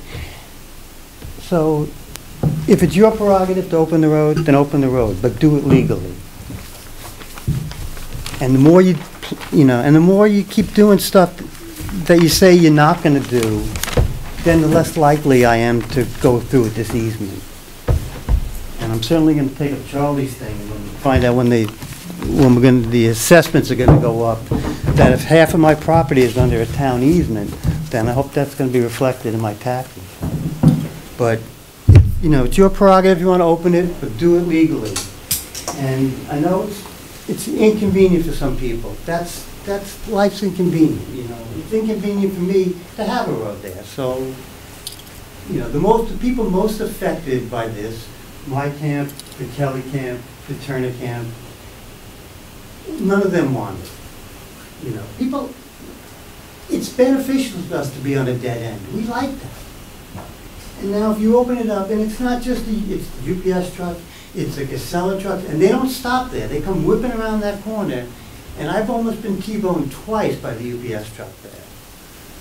You know, so, you all talk about safety and everything else, but you're polluting the lake with what you're doing, you're causing danger to my family and my, my, you know, there's a lot of children down there. It's chaos down there in the summertime. None of those roads were built Okay, Tom, we're gonna move on. you know, so do what you're gonna do, but until you do it, it should be closed off. That's your opinion. That's what's the pleasure of this board. Legally. Do it legally. You never did it legally. So do it legally if you're gonna do it. I'll, I'll get that research that we did that shows where the road is, and I'll, I'll bring it back to the select board. Okay, in addition, find out what a stop sign costs, so maybe that would be a welcome addition there, is two stop signs, one on each end of it.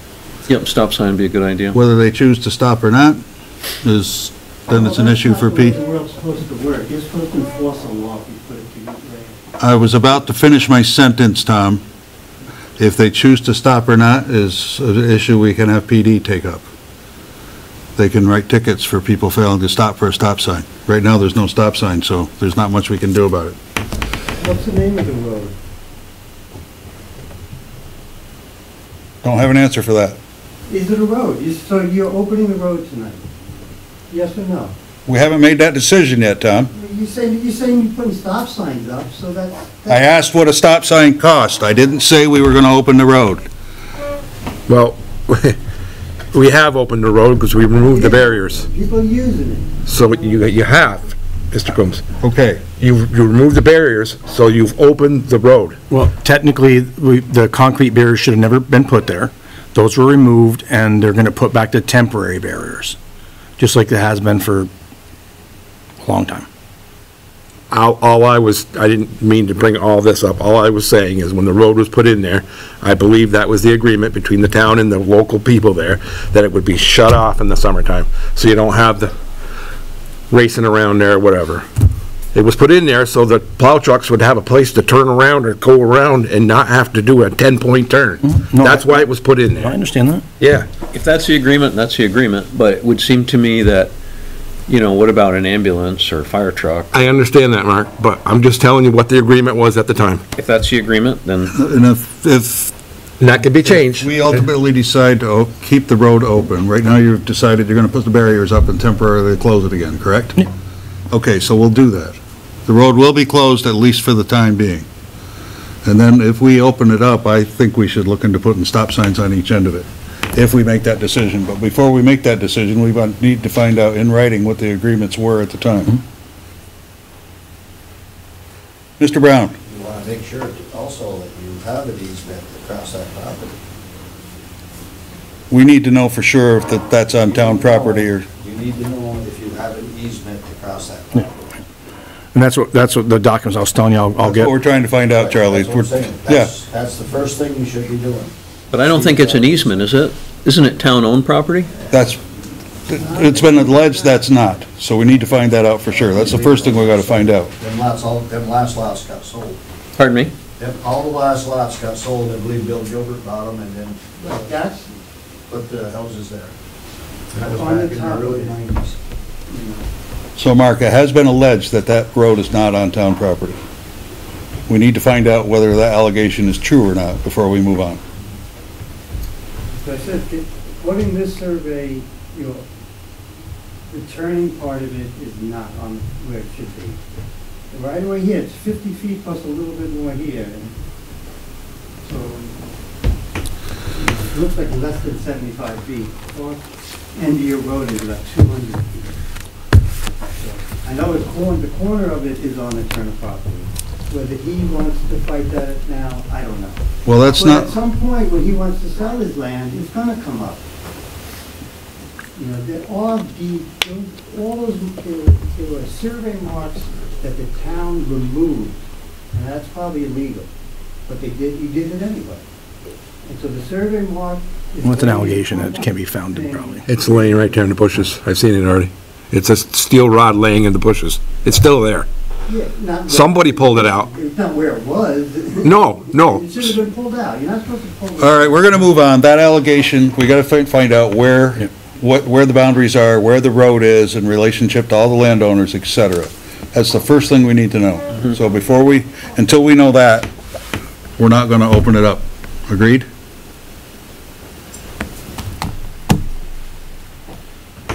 Okay, acceptance of Class 2 Highway Road paving grant.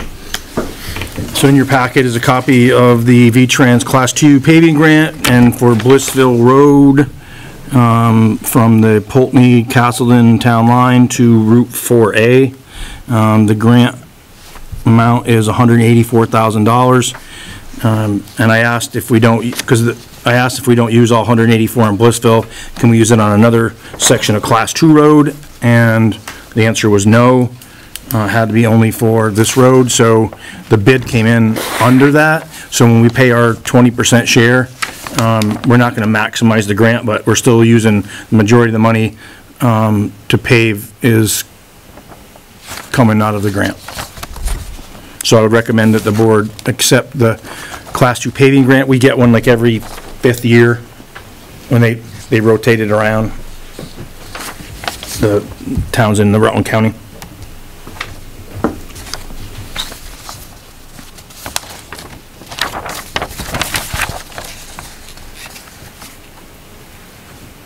Want to make a motion? I, um, excuse me, I'd ask that if you, when you make the motion, if you'd reference the grant number in the upper left-hand corner of the form, the, uh, Yeah, I got it right yeah, here. all right. And also, would you, um, in your motion, authorize the town manager to sign this agreement? Okay. I would make a motion to approve grant number P zero two one nine five for the sum of hundred and eighty-four thousand dollars and to have the town manager sign the grant contract, And do you- can you state what it's for? uh, for the paving of Blissville Road. Thank you. I'll second that. myself. I'll second it. Okay. It's been moved and seconded to accept this grant. All in favor, or any more discussion? All in favor? Aye. Aye. You recused yourself, right? Right. I recuse because it's Yeah. the street I live No, on. I just didn't know if she heard it. Okay. That could be interpreted as a personal gain, so, it's not a financial gain for sure. It's actually the other way because it raises the speed limit by 10. That pothole in front of Mike Bethel's house must slow some people down. I love that pothole. I slowed, I do- either dodge it or slow down. Um,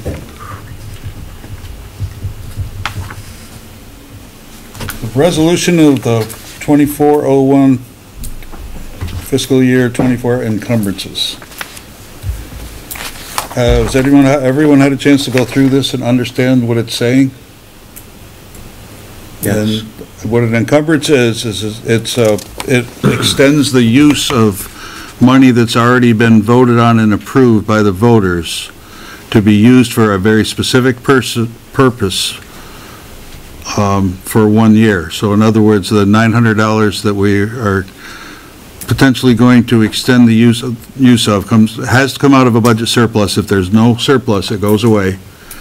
And that particular line item for managing municipalities would be used for um, CPR AED, basic first aid training, and has to be spent in the next fiscal year.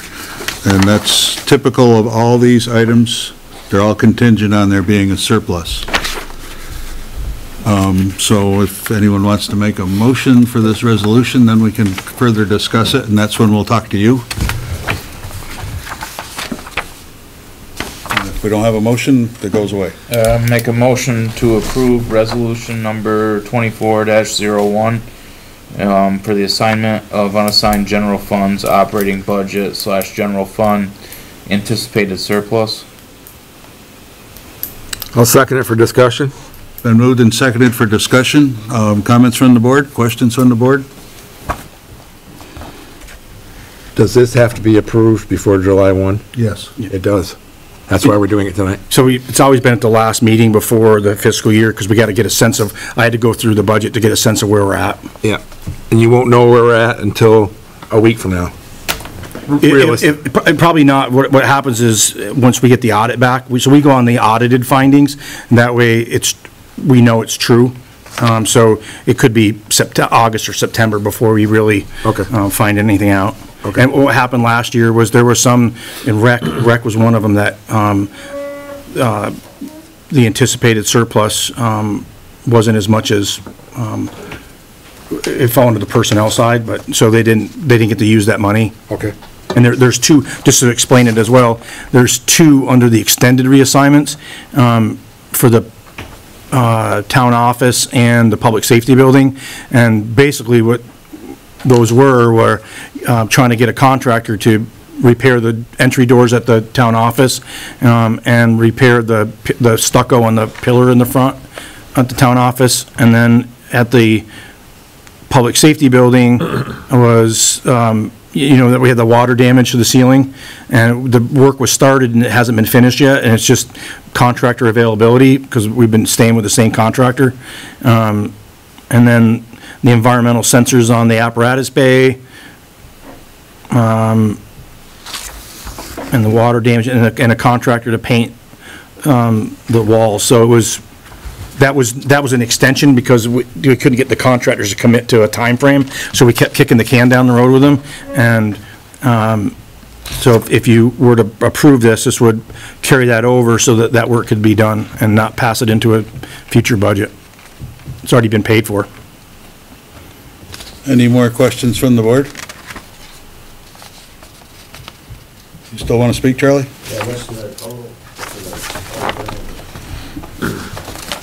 I don't, It's on there, it's, um. Seventy thousand, nine seventy-five? Seventy thousand nine seventy-five is the twenty-three, twenty-four, and the extended is eleven thousand two hundred. And that money's already, you've already encumbered it once, and it just, we couldn't get the work done.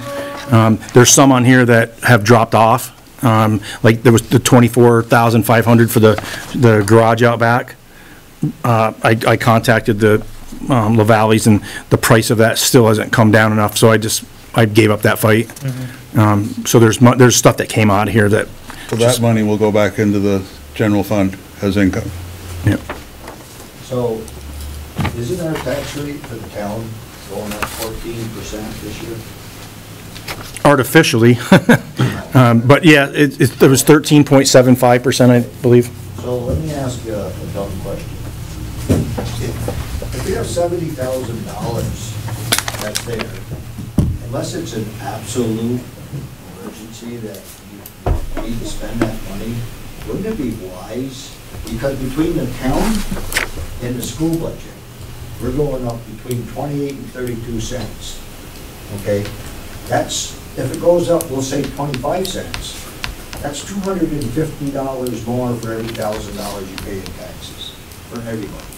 If you pay a thousand bucks, you're gonna pay twelve hundred and fifty bucks if it's twenty-five cents. Wouldn't it be wise to look at that number and to see if you could reduce that rate by just a little bit? Well, I don't, this, this is- won't be the full surplus probably either, by by my projections either, so. I certainly agree with what you're saying, Charlie. I know that taxes are painful, but at the same time, we have a lot of infrastructure in the community that oh, has been, that can has been kicked down the road a long ways. And, you know, But- we're but what I'm faced with asking, a, All of these things that you've got there, they've been kicked down the road? uh, I think some have and some haven't. Well, the taxpayers approved this money once already, Charlie. That's right. So now you're saying, take it back because we haven't spent it? That, that is what you're saying. Because the end of the fiscal year, now. fiscal year ends June thirtieth. I know. That much money left over. It used to be, you could not encumber that money. No, I know, I, It was only the highway department that could be encumbered. Exactly. That. The state of Vermont, uh, in their infinite wisdom, said, everything can now be encumbered, every department. Okay, so that's why our budgets are continually, every year, spiraling out of control.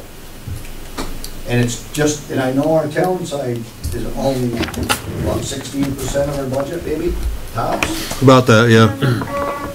That, that's why, just so I can speak on why I wrote this and, and ask the select board to consider it is, I understand that, and with the price of, you know, we've had these conversations, Charlie, you know, the price of everything goes up, and, um, the more we, we don't do this stuff, then we have to put it into a future budget, and the cost of it's gonna, it might not be, maybe you don't decide to do it for two years. Um, and then the cost of it goes up even more. And, and I'm a taxpayer, so I would say, uh, the way that I would look at this is, um, I've already paid this money, and I'd rather have you do work with it than pass it into a future budget. Because, if you, if you let it go into the general fund and you don't use it, and it goes back to a surplus that goes into, to apply to the tax rate, and we still have to get some of this work done, you're still going to put it in a budget somewhere.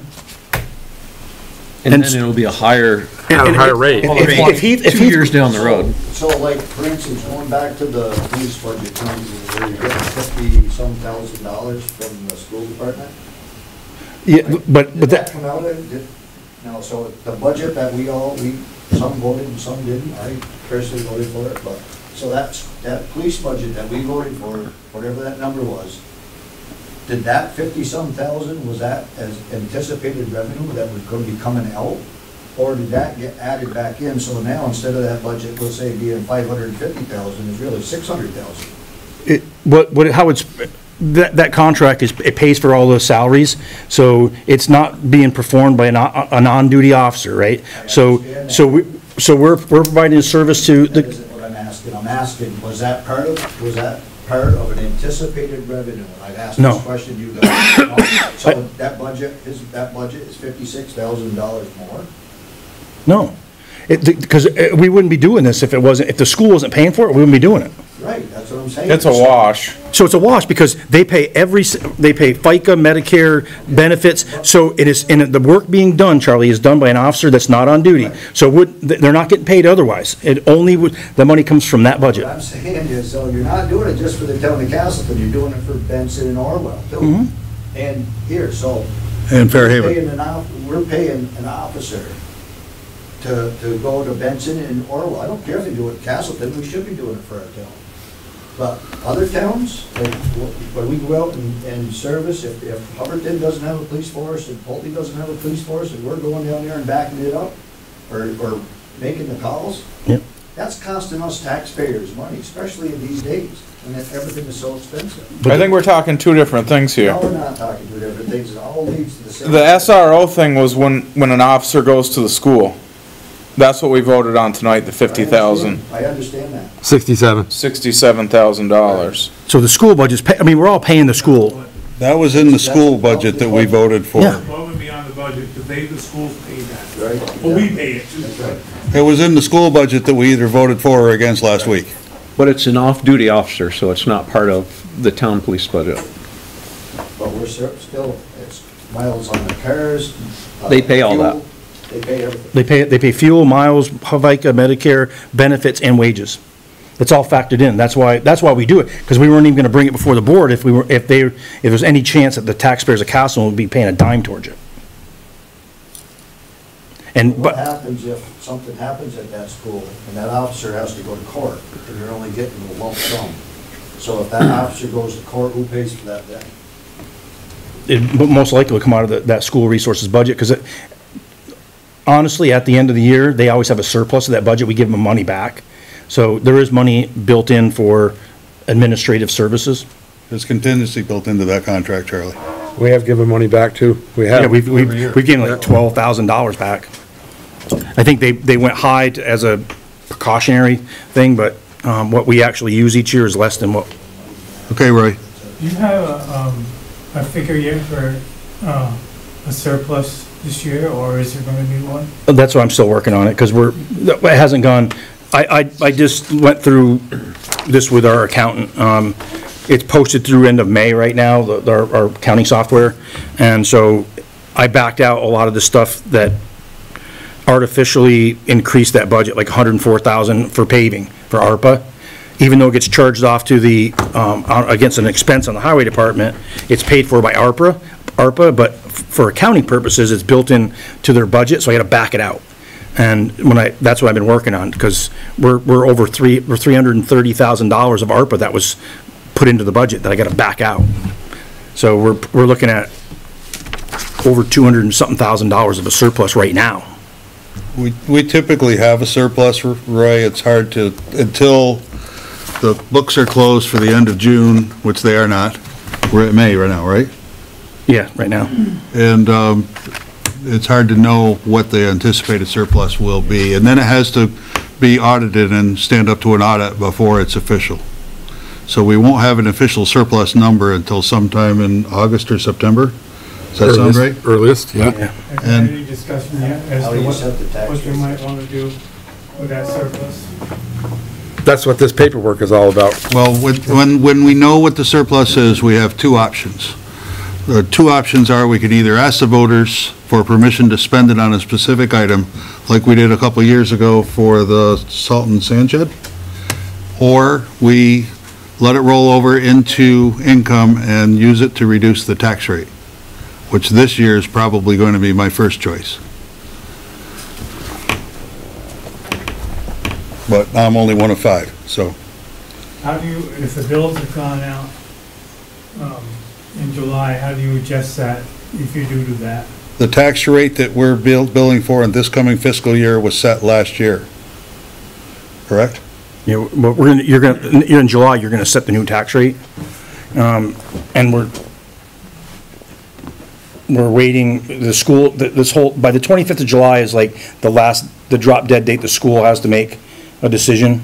Um, and we'd have to probably set the preliminary tax rate, um, and then have to send amended bills out if we tried to do this. If we tried to, if we tried to send it out early, um, before the end of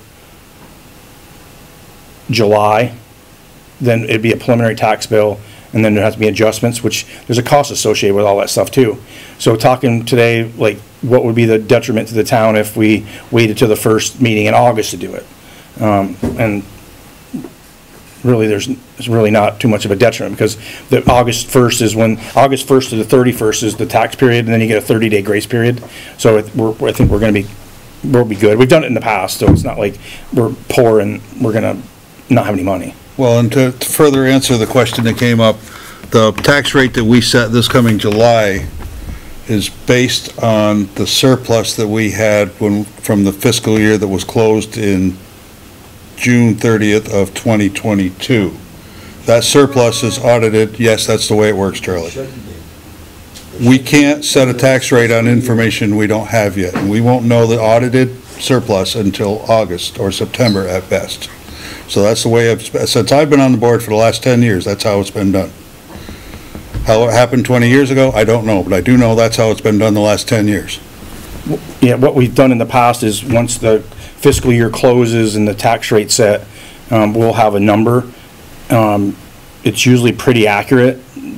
Uh, Melanie was really good about, you know, getting those numbers pretty accurate. Um, and then when the audited numbers come in, it, it could change. So any more discussion from the board on this resolution? I'm good. I'm gonna call the question. All in favor? Aye. Aye. Opposed? Motion passes five zero. Managers report, The abbreviated version, please. and pending your questions. Um, Okay, um, I have one, but we'll take it offline tomorrow. all right. Um,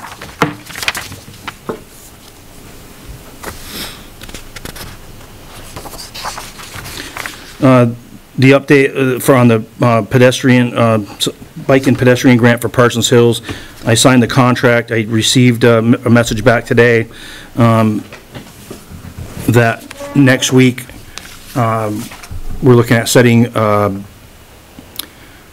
an update, because there's some s- stuff that Champlain Construction still has to meet with V-Trans over, is the, the whole right-of-way and that process, so we're gonna try to set up a meeting next week to just make sure everything's locked in there and try to have a, uh, build, or, I'm sorry, uh, construction start date, um, back, for me, back to the board, um, by the, um, first meeting in July just to be able to say, we we discussed it, we're good to go, and this, we're- construction's gonna start on X date. But the the way the contract's written, it has to be done this year anyway. You'll know in two weeks' time, you'll give us a construction start date? Yeah, that's, that's what we're working on, is to get a construction start date. In two weeks? Yep. Okay. Well, not, I'm not saying the construction will start in two weeks, I'll No, give you no, the answer to when it will Yeah, start. When it's gonna start? Know the timeframe? Yes, that's right. Yeah. Good.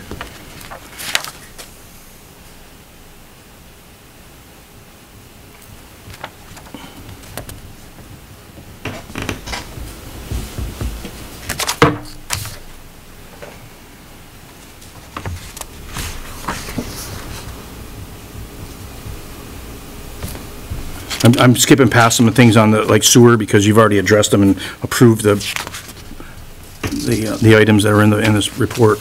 The, uh, insertion valve was on here.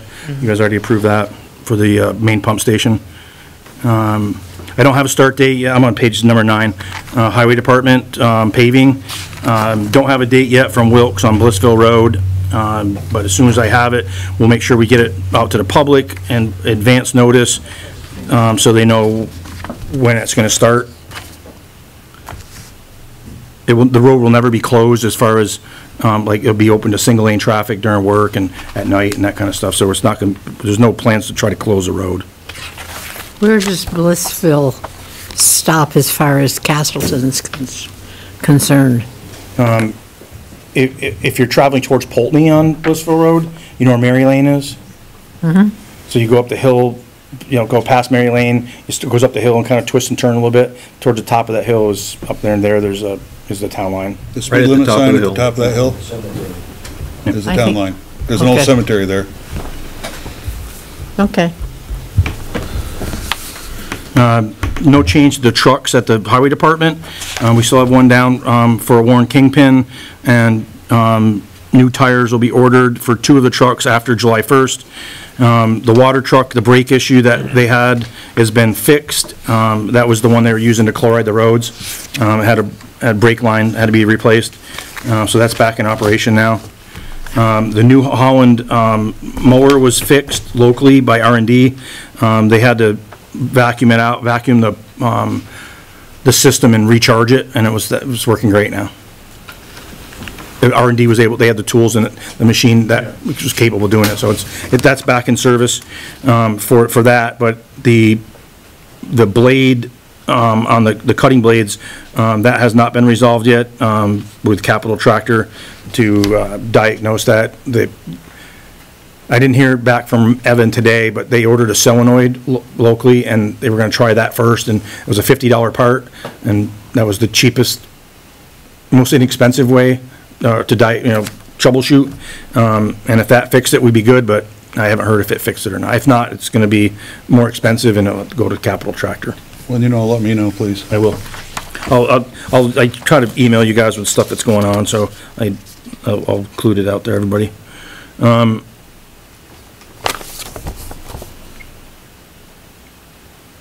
Uh, That paving project, uh, on page 11, the paving project that V-Trans had um, scheduled for uh, 2025 has been now delayed um, into 2026 or 27, and that's the section of Class 1 highway from Blissville, or from Sand Hill Road to the, bridge on the east side of town, past the old fuel, um, past the train station. Um, So now they're saying it's not gonna be done until 2026 or 27. And I asked if they would include the shoulder widening project, and um, I didn't get, I got told highly unlikely that they're not, V-Trans isn't doing that right now. Um,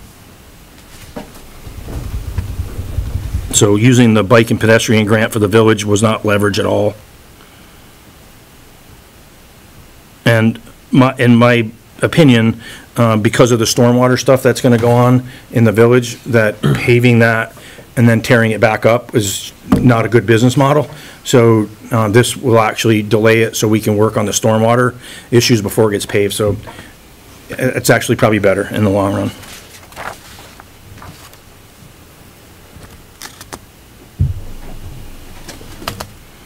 I provided the board on the updated ARPA um, worksheet. Um, I added in that money that you appropriate, or you, uh, yeah, appropriated for the um, Parsons Hills project into that, so I think you have an updated copy.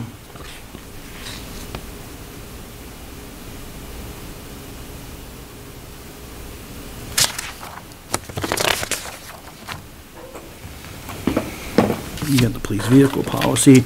Um, The assistance to firefighters grant, I forwarded you guys an email, um, basically from Lexipol, the one that did the help with the grant writing, um, and basically said that um, it passed peer review, and now it's going for a desk review, and we may not, he- even though it- it- we haven't heard, heard nothing right, we've heard nothing right now saying we- we weren't approved, but that could come along, the denial letter could come along with um, the uh, award, um, not, uh, award um, notifications later.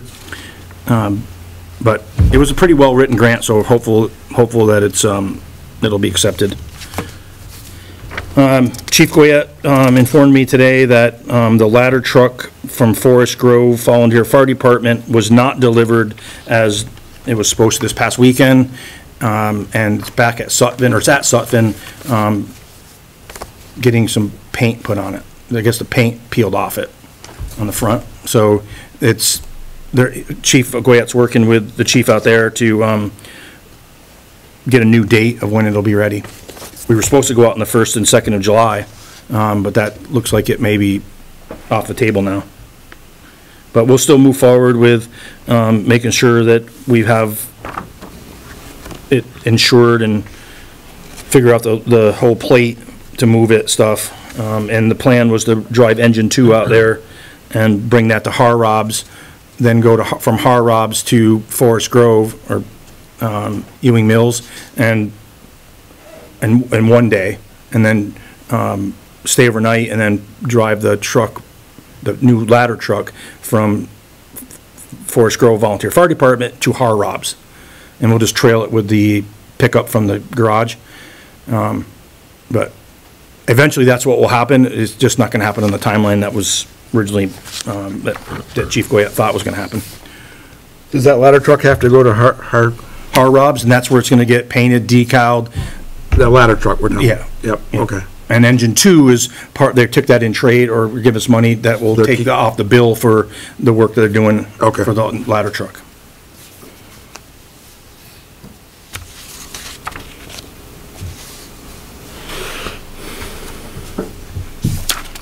Uh, on page uh, 18, under Town Lands, Crystal Haven Common Area, um, I reached back out, uh, I talked to Rob uh, about this. Um, He he had sent me an email. This was about uh, Laura Dlugolecki's opinion on who has jurisdiction over a dock that's over the water. The, the, like, you get the part that touches the, the shore, and then you got, that's, that's over the water. And basically, I, I got a second letter or email back from her that her belief is that the town has no jurisdiction over the length of a dock. It has to meet the state compliance and it's fifty feet. Um, but like the width and length, um, we can't, like our, our dock space agreement says four by twelve. And by reading her email, doesn't sound like, once it's over the water, we really have no jurisdiction on it Who does have jurisdiction? state. But the question that Robert wrote back is like, so can the town legally tell a person they, they have to put their dock on, their boat on this side of the dock or that side of the dock? Or, you know, that kind of stuff. So, because that's what we were dealing with, with the last complaint was people were encroaching on someone else's space. Um, it was a, the, it was a pretty simple or amicable, um, fix because the person that had the boat agreed to move it. Um, but the next person could say, no. And we're, and, and if we have no jurisdiction over it and they thumb their nose at us, um, then we may not have any grounds to stand on, but she did say, if our legal, if we had, if we end up talking to legal counsel on this, um, if, if anything is in, um, conflict with what she said, to let her know. But right now, it, it was fixed, um, but this comes around every single year.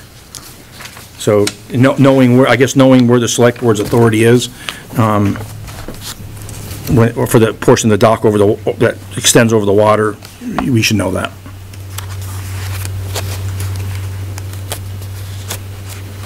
And that's it, barring your questions. Any questions from the board? That's Allison. Does it have to be in regards to the manager's report? Hmm, Not necessarily. It falls under the purview of manager's responsibilities. Uh, I'm sorry. I'll, I'll wait till, uh, select board comments and All right, concerns. and I have a question for the town manager. I did not have an original in the blue folder of this resolution 2401. All right.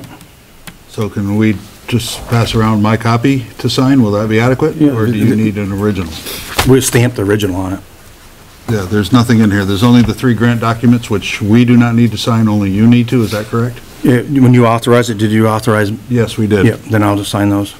But as far as that goes, if you have a clean copy that's nothing's written on, you can use that as the original, because we're gonna stamp the original signature copy as original.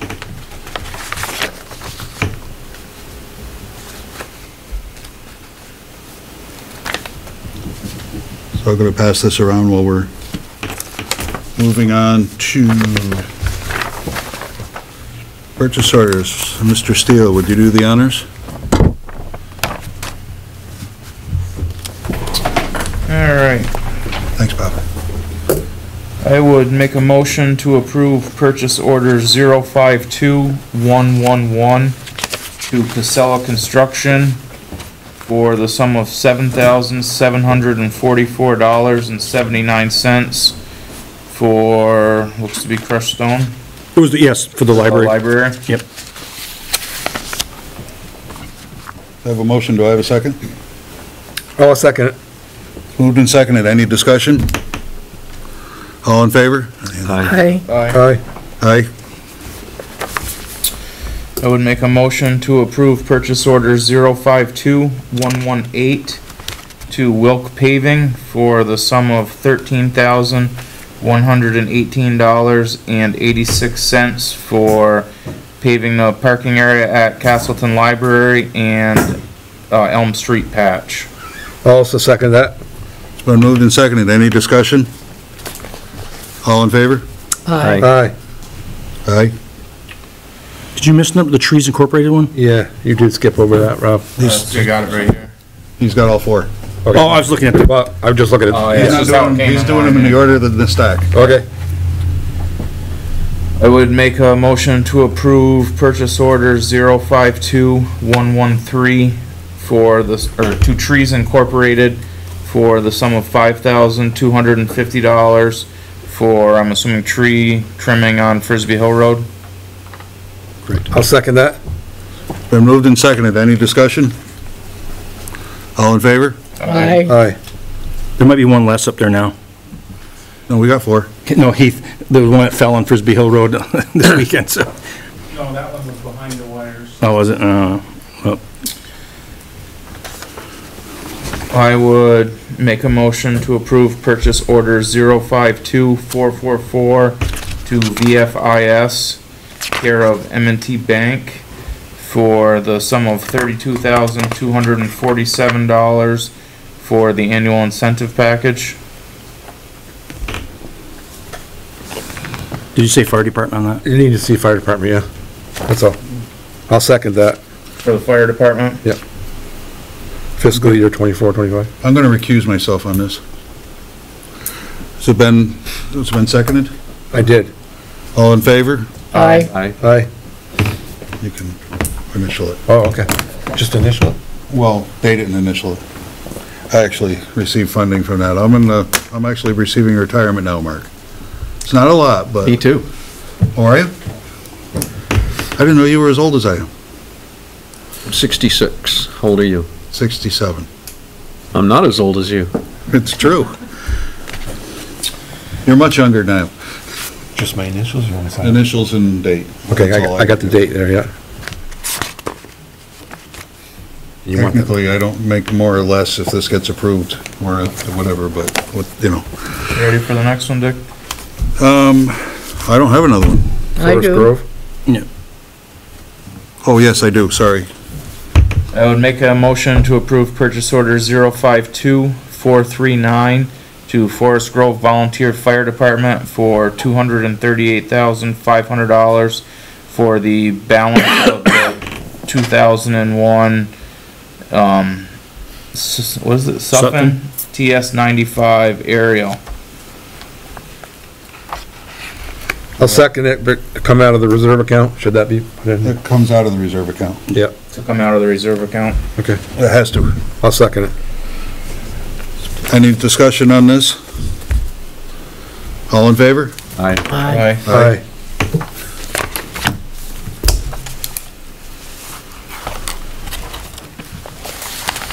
Just this one, Ariel? It's gotta go to Mark. Thank you.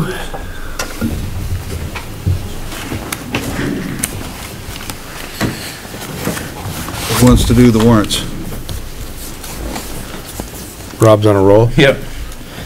I would make a, can I do them all at once? Yes. Uh, make a motion to approve warrant number 0624R for 238,500.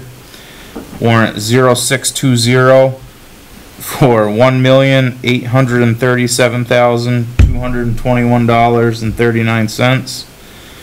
Warrant number zero six two four for the sum of one hundred and forty-three thousand, thirty-one dollars and seventy-four cents. Warrant number zero six one three P for the sum of twenty thousand, five hundred and warrant number zero six two zero P for the sum of twenty-one thousand, four hundred and ninety-four dollars and eighty-five cents. I'll second. It's been moved and seconded. Any discussion? All in favor? Aye. Aye. The big one was for the quarterly school payment. Had to look at that one twice. I'm not used to reading numbers that big. That's a big number. One, one point seven mil. That's our quarterly payment. Last quarter for this year, though, right? Is that right? Well, we do it four times a year. I'm not sure what fiscal year is what with Oh, that's true. That's true. Usually at the last one, they do a true up too. Yeah.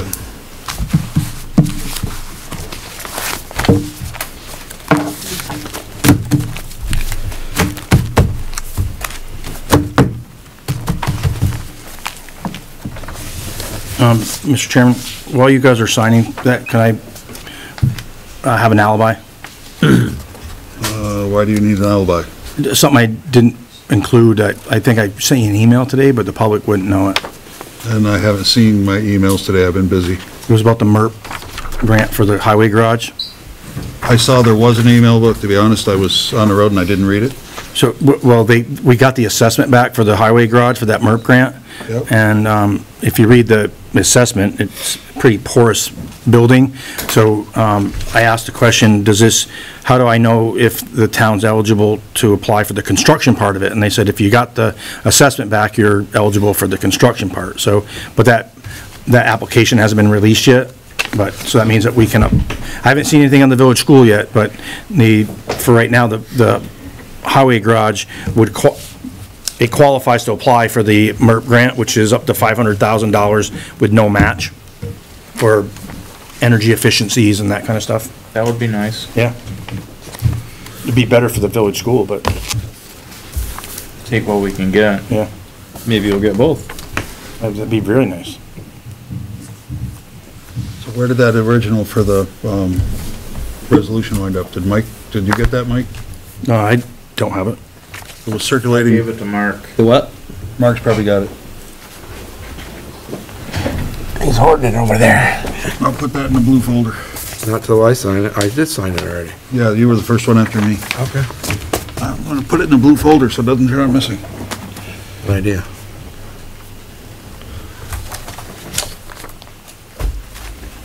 I don't have a stapler here, but we, I also have, um, I received notification about the, uh, we got two hundred and forty-nine thousand dollar grant, uh, for the wastewater, uh, because we finished that project, the two point five million dollar project. So this grant is for clean water, clean drinking water stuff. It's part of a, the whole SRF process, um, for two hundred and forty-nine thousand, so, um, I'm assuming you, yeah, see if there's a place to sign it. My name's on it. We, the undersigned parties, agreed to bound by this agreement, state of Vermont. So it must be, I'll have to look, it must have been something that was part of the, when we first applied, but they got my name on it. I don't know if you guys want to, how you want to handle it, because I didn't bring it up during the sewer commissioners meeting. Well, we're gonna have to have a sewer commissioners meeting, the next select board meeting to set the sewer rate. All right, okay. And if it's not time sensitive, make sure we're brought up to speed and we can I will. do what we need to do at that point. That, that reduces the, the payment, the bond payment to eighty-one thousand, which I included in the sewer budget. So this grant reduced it by eight, or was it one, it brought it down to five, the five fifty-eight from five ninety-eight, so forty bucks. The sewer rate, but it brought the, the loan payment down ten percent, right? Yeah. You got all five, Rob? I think so. All right, so we're gonna move on. Select board comments, Mark? Uh, I have two drive-bys I'd like to throw out. Um, I thought about this for a while, and then a resident brought it up to me. You know, things have changed so much. Tom mentioned about Amazon trucks and UPS trucks, and we have a lot of delivery trucks in town now. Most of them are well identified, but some are not. There's a lot of subcontractors. Even the US Postal Service, I see a, a guy with New York plates and an old Chevy truck delivering mail on my road. You'd have no idea who he was. Um, I had a woman tell me she was coming home and there was a Toyota parked in front of her house and a guy standing on the porch taking a picture of her front door. And she was pretty freaked out, but he was an Amazon subcontractor and they leave the package and take a picture. But without identification on cars, I think that that can be intimidating to, uh, you know, I always sound chauvinist and I don't mean it, but I think that for women that are living alone, this is an intimidating thing, and I think that it's our responsibility to make sure that they're not put in that situation. And I would like us, not to make a motion tonight, but to think about an ordinance that required uh, contractors that were doing residential deliveries in the town of Castleton to have identification, name of the company, and a phone number on their door. You know, Agreeable door. You look at your na, somebody pulls into your neighbor's house, you know, are they supposed to be there or not? Yeah. I've had that red Chevy truck come to my house on a Sunday. It's happening more and more every day. So I'd like everyone to think about that. The other call I had, and I drove up there and looked at it, if you go up Drake Road from 4A, um, once you cross Route 4, there are a lot of walkers that come from Indian Bay and also on Drake Road itself. And it's pretty dark, you know, you make that right-hand corner and go through the trees, and people really drive fast through there.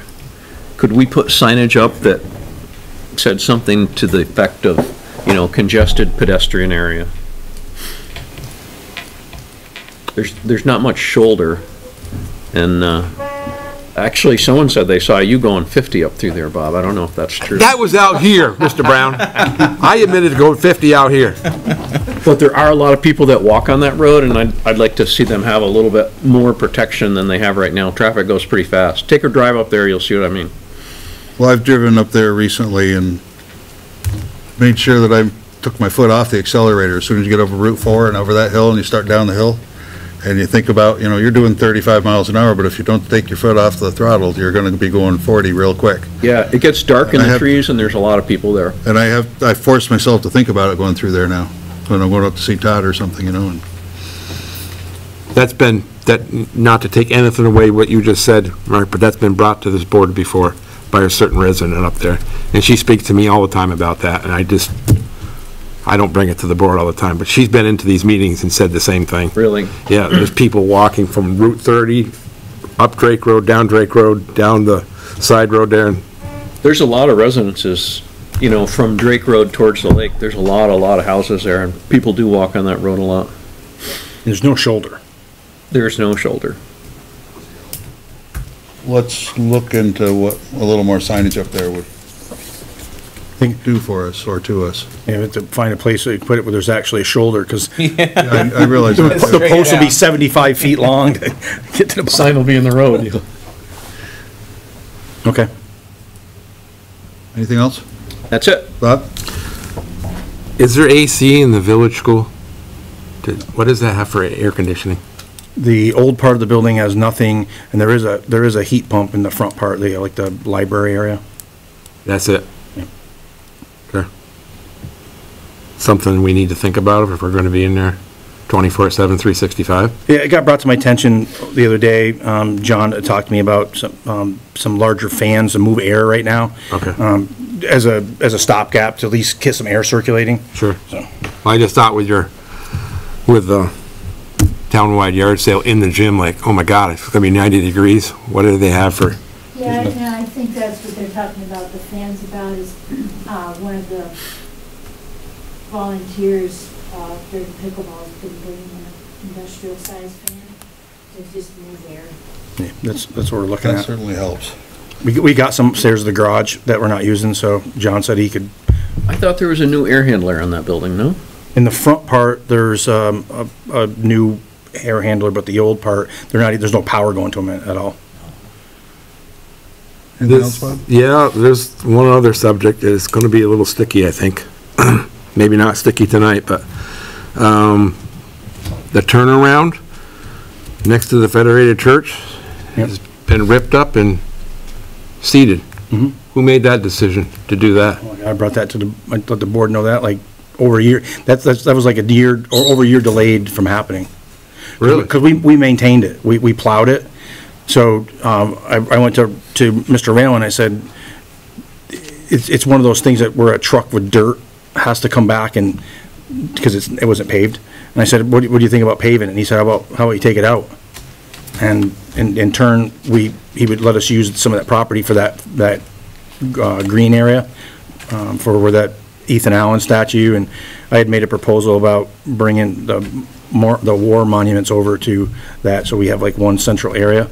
So that was, God, that was, I think we were over, he's, about it was uh, probably over a year delayed of, of making it happen, so, but I, I brought that to the board, like, so. If you go back and look at your manager reports, probably, oh, go back a year and a half ago, I can't look at the ones you send every week to us. 12 to 16 pages. Okay, I must have missed that. I I got some unhappy residents over there that, who the hell made that decision is what their exact words were to me. I said, I don't really remember. what's but the, what's the, re- what's their complaint, though? Because they have nothing else to complain about? I don't know. I don't know. It's grass now rather than dirt. Does it belong to the town or does it belong to John Rayland? We own most of it. There's the. Most of it? The section where it entered off from Route 4A was part, is his. So it was only part of it was his and the rest of it, the town, it was town green. Okay. So He said, he said, long as, long, if you're gonna take that drive away, then at least on the Federated Church, that he had access into that apartment or that house from off that Federated Church. Yep, yep, I understand that. Okay, okay. That's it. Mary Lee? I'm fine. Bob? Good. I'm good. Anybody have any action items that we need to remember? Mike's got his traditional list. It's actually a pretty short list this meeting. How come he's not Do commenting? we need a, No, I was- I was thinking about some of the stuff like, because one of them is gonna be that, the the eas- deed stuff for, Yeah. um, that's gonna be the That's a probably. pretty the mo- heavy lift. That's, that's the most tedious one, probably. um, yeah, but it's also gotta be, have to be on the short list, I think. Um, do we need an executive session for anything?